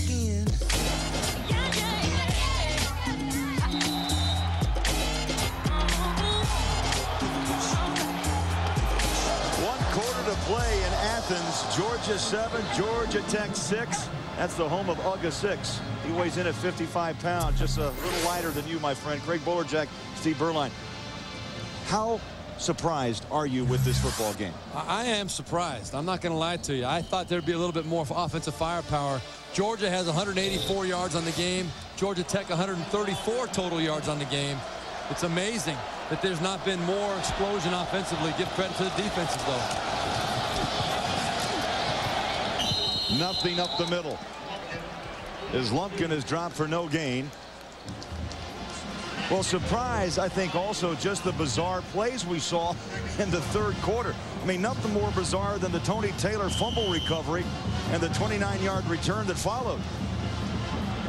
And then just as key, I believe, I mean, that touchdown, you, you can't account for something like that. A tremendous play on Tony Taylor's part, but they get the great field position on the kickoff return. And uh, Georgia's defense holds up. Georgia Tech can't capitalize on the field position. A loss of two actually on the play brings up second down at 12 as Stafford, the freshman, hangs in that pocket, throws. It's a low catch. Grabbed by Raley. Still on his feet, tackled out of bounds at the 24-yard line. Tim, you are correct. As Lumpkin is taken down at the 30-yard line. As you look at key conference championship, of course, the SEC championship that you'll see here on CBS December 2nd, Arkansas and Florida in the ACC. Georgia Tech is headed to Jacksonville, Maryland or Wake Forest, and the Big Ten or the Big 12 title game is uh, is now decided. Nebraska and Oklahoma. That Maryland Wake Forest game will be decided this evening. And Timmy B knows that Nebraska and Oklahoma, that is the old days. That is. They're different ball clubs now than they were back then, but Nebraska and Oklahoma, just like it used to be. Quick throw. Raley off his right hand, incomplete. Stops the clock with 13.41 to play. Steve, it's, I'm going to ask you this. Chan Gailey on one side, Mark Richt on the other. So do you play you play your game plan, you're up by one Georgia, you're down one Georgia Tech. You play more aggressively on the blitz package if you're if you're the Yellow Jackets, or do you play conservative on the offensive side if you're Georgia? Well, defensively, both these teams, what they've been doing has been working just fine. The offenses have been stymied all day. Offensively, if you're Georgia Tech, I think there's a little bit more urgency. You've got to score. You're down one. Georgia, you want to make sure you don't make a mistake. You'd love to get a little bit more point, a field goal or a touchdown, but you don't want to make that mistake. Hand off to Lumpkin. Stafford actually went out to try to throw a block for his tailback. And don't forget later in the game today, the five-star play of the game presented by Wrangler. The other factor with Georgia, too, you're dealing with a freshman quarterback who has played very well today. He's made good decisions. He's done nothing to, I think, lose any confidence from Mark Richt and from his offensive coordinator, Neil Callaway. But the fact of the matter is, this is a high-pressure situation where one mistake can determine the game. You've got to be careful what you ask him to do. Third down and nine. Massaquoi goes in motion from the shotgun. Stafford floats out, pressure from behind, throws a dart. Oh, how about that coverage? Jahi Word Daniels, number 32, timed it, timed it beautifully. Tremendous play by Jahi Word Daniels. He did time it just right. Receiver was not very open on that play, but Stafford giving him a chance, made a good throw. That was A.J. Bryant, but great coverage and a great break on the ball by Jahi Word Daniels. The crowd may be thinking that maybe there was a little contact before the ball got there. I think it was just a good play. Sixth punt for Gordon Ely Kelso is long of 36. Back inside his own 20-yard line.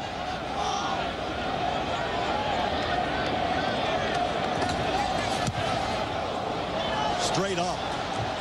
Straight down. Oh, it kicks back in favor of Georgia Tech.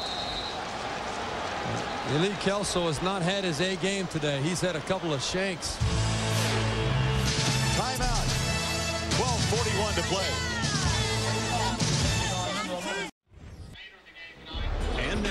It's time for our Geico scoring recap. It was scoreless after one. We go to the second quarter. Travis Bell, 35-yard field goal. Tech by three, and then the fumble. Tony Taylor digs it out of the pile. Where is he? There he is, 43. He's off to the races. Takes it back 29 yards. 7-3 Georgia. And then Bell connected from 24 yards out. And after three quarters, 7-6, the Georgia Bulldogs on top.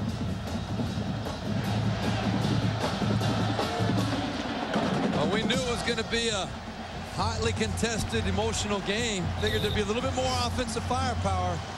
But, boy, there's been a lot to get excited about in this ball game. Both sides. First and ten, ten. You make a great point. Reggie Ball's the senior on this Georgia Tech football team. He's going to have to be the one that steps it up. And the stiff arm is Tashard Choice. Goes out of bounds at midfield at the 50-yard line. And you know, Reggie Ball, you talk about him, he is the senior. He's the quarterback. He's never beaten Georgia. And his teammates, all of them are counting on him to step up and, and make a play here at some point. You know, he's got a lot of help on that team. Tashard Choice has been running the ball well. Calvin Johnson is eager to make some plays. Reggie Ball is going to have to make a throw or play with his feet at some point in this ball game if they want to get in the end zone. And you have to think that throw will have to go to Calvin Johnson. He's got one-on-one -on -one coverage right here. Ball instead tucks and runs, bounces off of one tackler, and then pushes to the sideline and dropped at the 43-yard line. And yes, that was a good play right there, but it's been a tough day for Reggie Ball. He is a quarterback in a linebacker's, a uh, linebacker's mentality in a quarterback, but he had that tip ball for an interception. He had the fumble. Both of those key plays for determining the outcome of this ball game. Obviously, that last one, a touchdown by Tony Taylor. But Reggie Ball has got to get out of that linebacker mentality here right now and just start thinking about what he's got to do to make plays to give his team a chance to win. First and 10. Choice. Oh, he laid out a hit, didn't he? To the 39-yard line. Athens, Georgia is the place, home of the Bulldogs. And Georgia has a one-point lead on their arch rival, the Yellow Jackets of Georgia Tech. 15th ranked in the country. We're in the fourth quarter, under 12 minutes to play. Second down. Play action ball. He wants the deep ball. He's got Johnson through his hands, incomplete. But you know what, Craig? Calvin Johnson was open. And watch where this ball, if he dives for it and makes this catch, is he going to come down inbounds or is he going to come down out of bounds? Had he, he caught the ball out of bounds. He would have been out of bounds. No, he would have not established possession in the field of play. So you can say maybe he should have caught that ball. I think seven or eight times out of ten, he'll pull that in, but he's going to land out of bounds, and it's not going to be a completed pass. Thrown to nine times today, two receptions for 13 yards. Third down.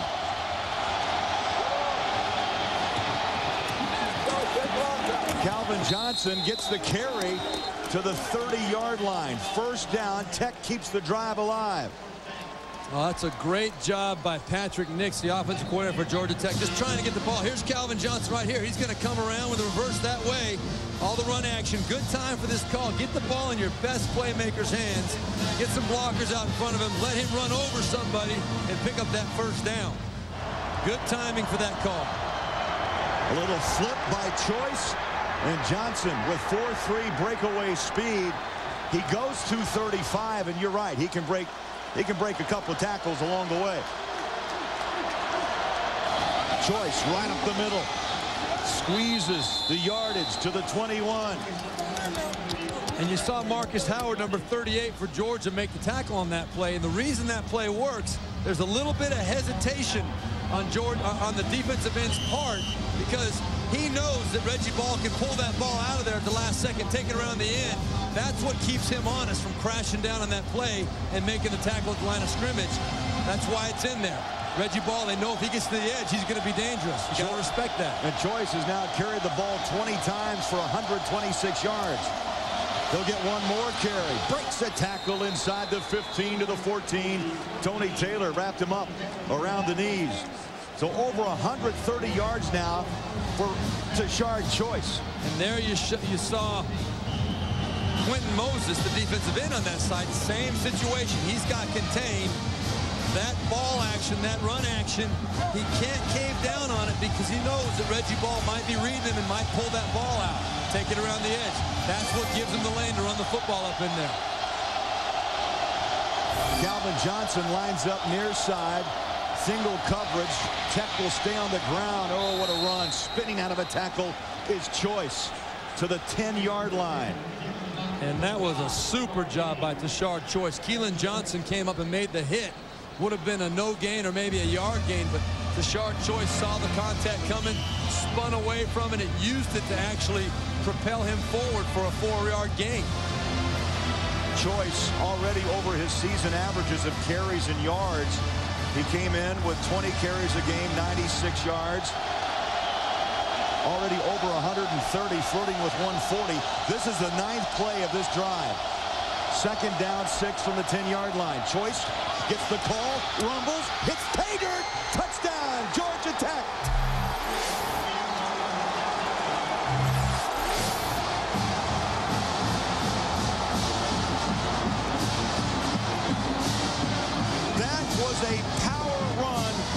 by Tashard Choice.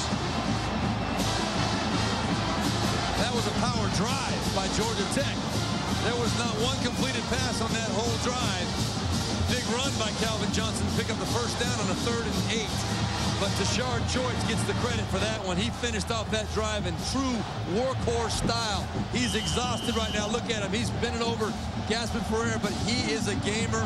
Did not want to have anybody else with the responsibility of getting that ball in the end zone. Georgia Tech now going for two to try and go up by seven.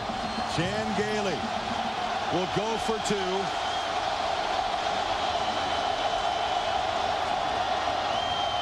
Ball, the keeper, and he slipped at the three. Tony Taylor, he tried to make a cut around Taylor, and Tony Taylor with the tackle. 12-7 our score, 8.50 to play. Tashard's choice just powers his way in for the touchdown. Tech goes for two. Ball on the keeper. He slips and falls at the three. Tech leads by five.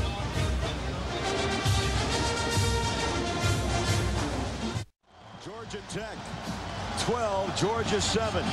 Nine plays, 56 yards, just under four minutes off the clock. And Tashard Choice with a powerful 10-yard touchdown. He had six carries on that drive, Steve, for 39 yards. And he was hurting. he was gasping for air, but I, I gained a lot of respect watching him right there. And I'll tell you what, when you reach pay, pay dirt like he did right there, it makes it all worth it. Travis Bell will kick away from the 35.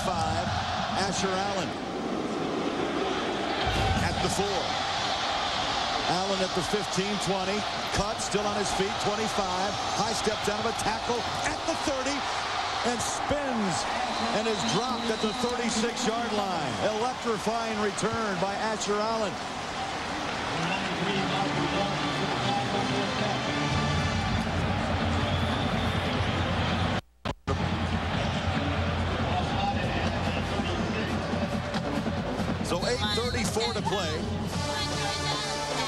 Georgia Tech leads on the road 12-7 over the Bulldogs of Georgia.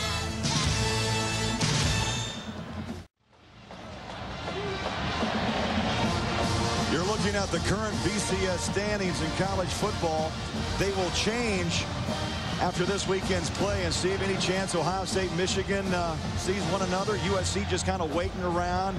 USC and Notre Dame, those two teams are playing today. And actually this evening, the winner of that game, if it's USC, I think they got a legitimate you know, a legitimate claim to the national championship game. But Notre Dame, if Notre Dame wins, as much as I want to say they deserve it, they lost to Michigan at home. I think it'd be hard to throw them ahead of Michigan. Florida, now, if they win the SEC championship game next week, they've got to be in the mix, too. Georgia comes out throwing. Kenneth Harris makes the grab. And a first down at the 50-yard line. So the Bulldogs down five with a first down at midfield.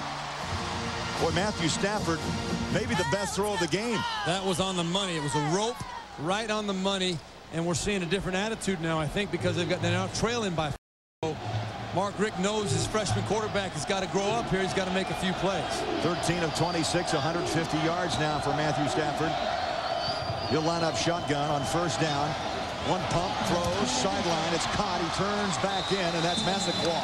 Mohamed Massaquoi out of Charlotte, North Carolina. Another good, quick decision. We saw a little bit of athletic ability there in Matthew Stafford. He he started to cock it one time and pulled it back and was still able to get it out there, strike on the money with some zip on it. Hit Massaquoi right in the number one. Couldn't have put it in a better spot. How about moving the football? Two passes, two first downs. Yep. Now at the Georgia Tech 40-yard line, trailing by five. Halfway through the fourth quarter. On the ground, big hole, still on his feet, Danny Ware. To the 25-yard line. Another first down for Georgia. Wrap up all of today's action tonight at 7 o'clock Eastern with SEC Football Nation on CS TV, the 24-hour college sports network from CBS Sports. You know, Danny Ware has been the one really doing the damage for Georgia offensively running the ball today. 30 yards on five carries. He's the one that's been able to rip off the five-plus yards. First and 10. Raley in motion. Once again, Ware bouncing tackles to the 21-yard line. And I think it's a good decision by Mark Richt to go with Danny Ware right now. Greg, Kregg Lumpkin, we know how good he's been all year for Georgia. He's been a very consistent runner for him. But today, for whatever reason, this Georgia Tech defense is having a hard time figuring out Danny Ware. And Mark Richt is going to keep pounding him up in there until they show they can figure him out and get him down. Well, Lumpkins carried 17 times for 48 yards. Ware, sixth carry for 36. That's six yards a hit. Ware, the tailback, on second down and five. Again, Ware cuts back, leans. Ware will be short of the first down at about the 16, 16 and a half yard line.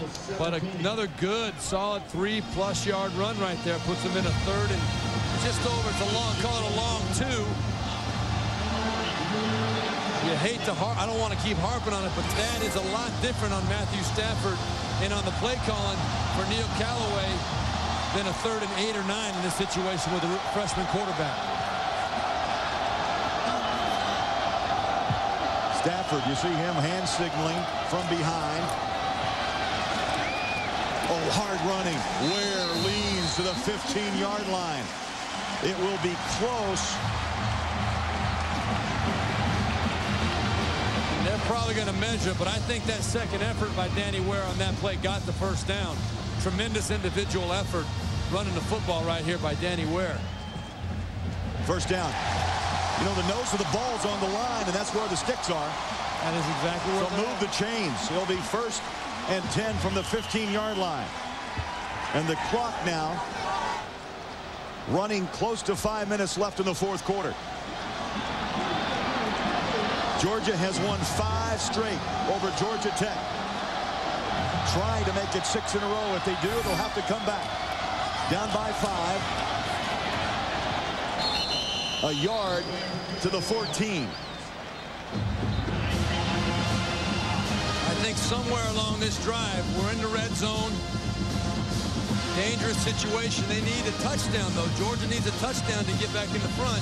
There, Danny Ware limping off the field. Nice to know you got Kregg Lumpkin there to step in for him. But I think Matthew Stafford's going to have to make a play in the air here, either on second or third down at this point. Second down and nine. The freshman lines up in shotgun.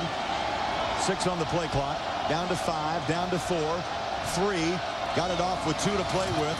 They'll hand it big hole right side. Lumpkin. Good pursuit by the Yellow Jackets to close it down at the 11-yard line. Daryl Robertson from that left defensive end spot rode him down. Now, Georgia is definitely in four-down territory here. There's four minutes left in the game. They could look at it from the standpoint of, well, we don't have to put it on the freshman and throw the football here if we think we can get it to a fourth and short. by running the ball right now. So they've got choices to make. They've already talked about it. They know exactly what their plan is right here. Ninth play of this drive. Five minutes of clock they have chewed. Third down and six. Shotgun. Stafford throws a dart. Complete inside the five-yard line to Mohamed Massaquoi. Philip Wheeler delivered the blow, but get credit to Massaquoi, who, who spun off and got another yard or two to the four-yard line. You got to give credit to Matthew Stafford for standing in there making a strong throw under pressure with the game on the line. And Jamal Lewis and Philip Wheeler were right there to make the make the big hit on Massaquoi and give him credit for being a tough little guy out there, standing there taking a hit and getting the big first down. Danny Ware has returned to the Georgia backfield. First and goal at the four-yard line. Ware, the ball carrier. Boy, the hole was wide open. Tech closed it.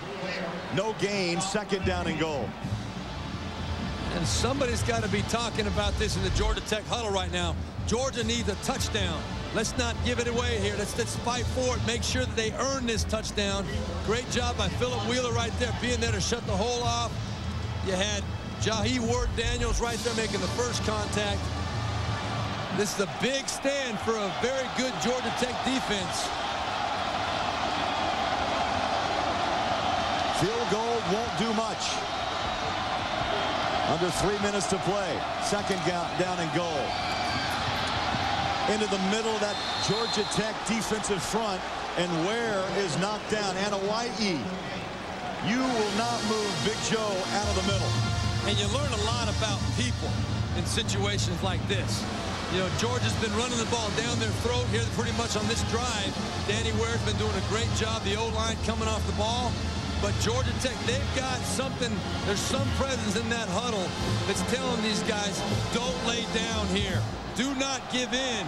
We got to keep them from scoring a touchdown, and we win this ball game. 12 play of this drive, four wide receivers set, and the freshman goes under center.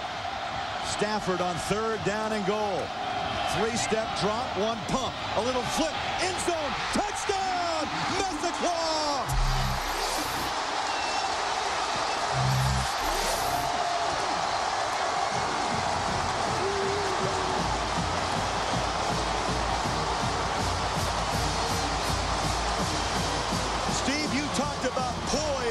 The young man from Dallas.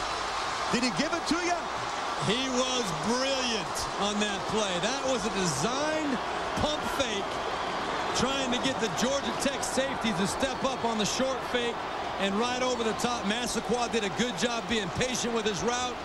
Georgia's going to go for two here to try and get up by a field goal on Georgia Tech, but brilliant execution by Matthew Stafford and Mohamed Massaquoi on the biggest play of the year for the Georgia Bulldogs. Second touchdown catch of the season for Massaquoi, the sophomore from Charlotte. And here we go. Two-point conversion. Stafford rolls, fires. Massaquoi.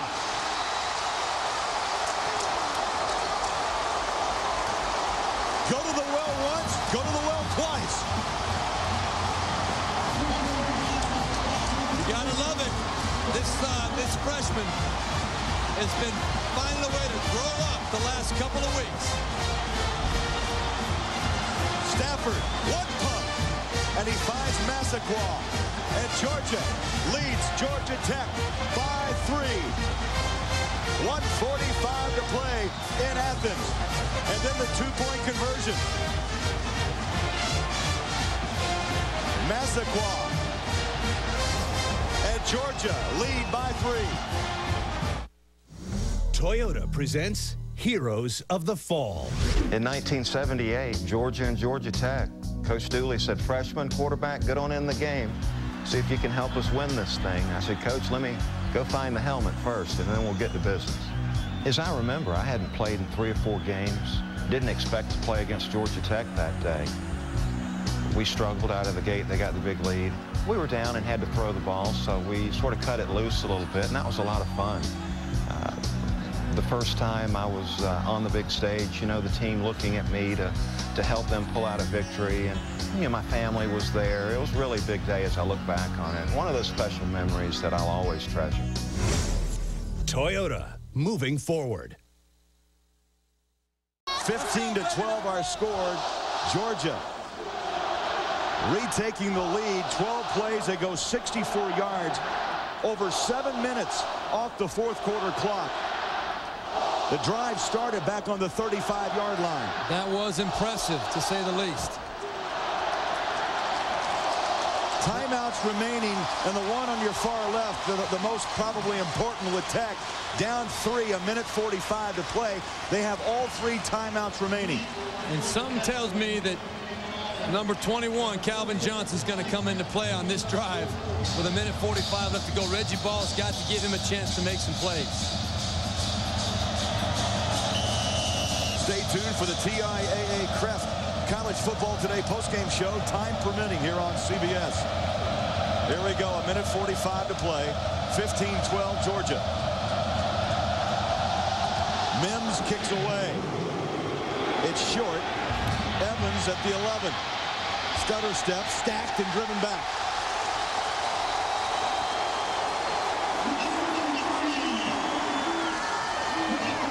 One thirty-six to play. Georgia Tech needs a field goal to tie. A touchdown breaks a drought of five straight losses to Georgia. Well, let's look at that touchdown real quick. Watch the safety right here. He's the one that bites on the initial fake right there. Boom, he steps up over the top. Massaquoi was there. Great execution. Ball throws, caught. Oh, out of bounds. It's incomplete. What a hit. Delivered by Johnson, the free safety. That's Kelin Johnson, number 30, coming over. It's the second time James Johnson has not pulled in that same pass, and he's paid the price. My mentality is holding on Georgia Tech. As we talk, my mentality is, hey, if you're going to take the hit anyway, you might as well catch the football. Twice James Johnson today has had a shot up the seam on the sideline and has not come in with the football. Here's Jack Childress. 64 of the offense. That penalty is refused. Andrew Gardner, second down as Georgia refuses the penalty. I'm surprised by refusing the penalty. I think you'd rather have them first and 20 backed up in their own end zone than second and 10. Three timeouts remaining for Tech. Reggie Ball throws far sideline, caught out of bounds, goes Chris Dunlap. And Chris Dunlap, he's a senior. He knows enough to where he should have known exactly where he was on that field. There was no reason for him to catch that ball and step out of bounds. They need first downs. He's two yards short of the first down. He's got to catch that ball, run straight up the sideline, get the first down, then get out of bounds. There was no reason for him to turn and step out of bounds there. Third down and two.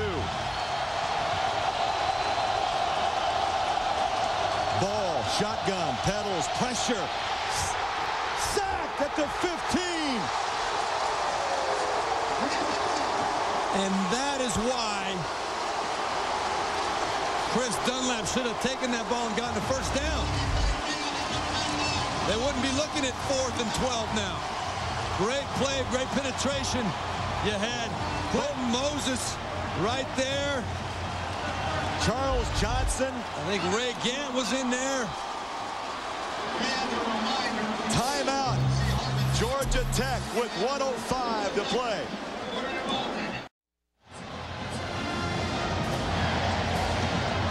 Fifteen, 12, Georgia. Two timeouts left for Tech, and just a moment ago, there is a contact in the personal foul. You're going to see after the play, watch when everybody stops at the top of your screen. They're still moving right to the head of the Georgia Tech. Boom, right there. That blow to the head is what the personal foul was called on.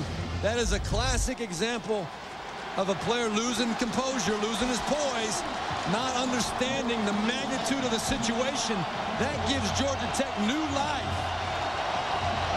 A huge play in this ball game. Well, instead of going for it on fourth down, you mentioned new life for Georgia Tech. Down by three in the football. 106 to play.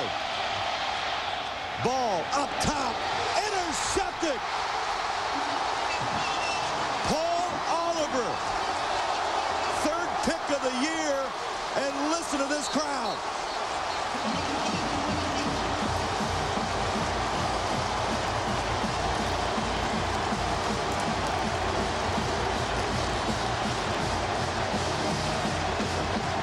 talk about how you got to give your man Calvin Johnson a chance to make a play, but this is not the time. First and 10 in this situation with obvious coverage. Not a good throw, not a good choice by Reggie Ball. I would have loved to have seen him come off, be more patient. Know you've got over a minute left. You've got timeouts left. Don't try and force it when it's not there on first down when you've got more plays to go. And Georgia obviously celebrating the fact that Reggie Ball tried to force that ball in there. That's one that he knows he'd love to have back. If you're going to throw that to Calvin Johnson, throw it where only he has a chance to make the catch. Second interception thrown today by Reggie Ball. Oliver with his third interception, and he's down at the 45-yard line. And he's up. Probably cramped. But Paul Oliver, what a game he has had. Everywhere. I mean, gee.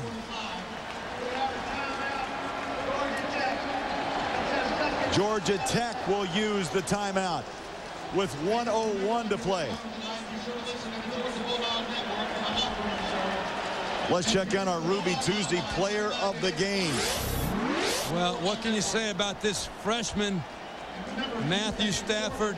16 to 29, 171 yards, a touchdown, but the big number right there. No interceptions. The last two games, zero interceptions against Auburn, against Georgia Tech. What does it translate to? Wins for this Georgia offense, or this Georgia Bulldog football team. Now it's time for the five-star play of the game, presented by Wrangler. Well, the five-star play of the game, you've got to go with the fumble recovery by Tony Taylor. Reggie Ball trying to tuck it up, get some yards. The ball comes out. Nobody gets possession. Tony Taylor digs in there, pulls it out, goes for the touchdown to put Georgia up for the first time. That is the play of the game, the Wrangler five-star player of the game. I'll tell you what, play of the game, excuse me. Another player that deserves credit, though, is the man that picked off that last pass, Paul Oliver, who's been one-on-one -on, -one on Calvin Johnson most of the day, and he's done a tremendous job shutting him down. Calvin Johnson with only two catches, 13 yards on the ball game. What a tremendous job by Oliver. So now Georgia, sitting on a three-point lead, will take a knee.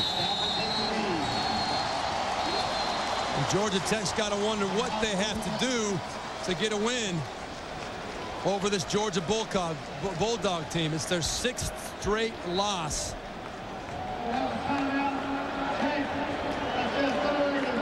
Georgia Tech will burn their final timeout. And Chan Gailey looks on. This senior class will walk off this field knowing they never, never threw Georgia a loss during their four years. The last time Georgia Tech won was actually here in Athens on November 18th of 2000. And you see what it means that this Georgia Tech team wanted to win this game so badly for bragging rights, for pride. This senior class, you talk about how the Georgia seniors have never lost to Georgia Tech. They leave here knowing they've got bragging rights for life. The senior class for Georgia Tech, they've accomplished so much. They're a legitimate top 20 football team. They've had a tremendous year, but to end their senior year with a loss to Georgia, even though they've got the ACC championship ahead of them, even though they've got a bowl game ahead of them, they never beat Georgia. That's going to be a hard pill to swallow. How will this win over a ranked team help Georgia in the bowl picture? It's going to help. It'll solidify them. We, we were talking about it before the game. It might make them a, a solid choice for the Peach Bowl. Uh, I think that'd be the one that would make the most sense. I'm more concerned about how it's going to affect Georgia Tech. This is a crushing loss. They're going to go in that ACC championship game next week coming off this physical disappointing loss against Georgia. It's going to be a challenge to see if they can bounce back. Another knee for Stafford. Tech cannot stop the clock. Let's go get in. And you see some frustrations out there on the field. It's been a very classy ball game, both sides. But there are definite frustrations on the Georgia Tech side of things. Georgia will have to run one more play.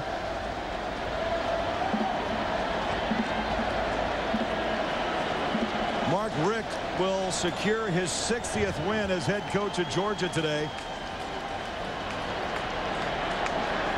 And who would have thought Three weeks ago, this Georgia team was down in the dumps. They come back and destroy Auburn and beat Georgia Tech. They can come off this field with their heads high. Six seconds, the final seconds ticking down. Six straight for Georgia. Craig Bolerjack saying so long from Athens with a final score. Georgia 15, Georgia Tech 12.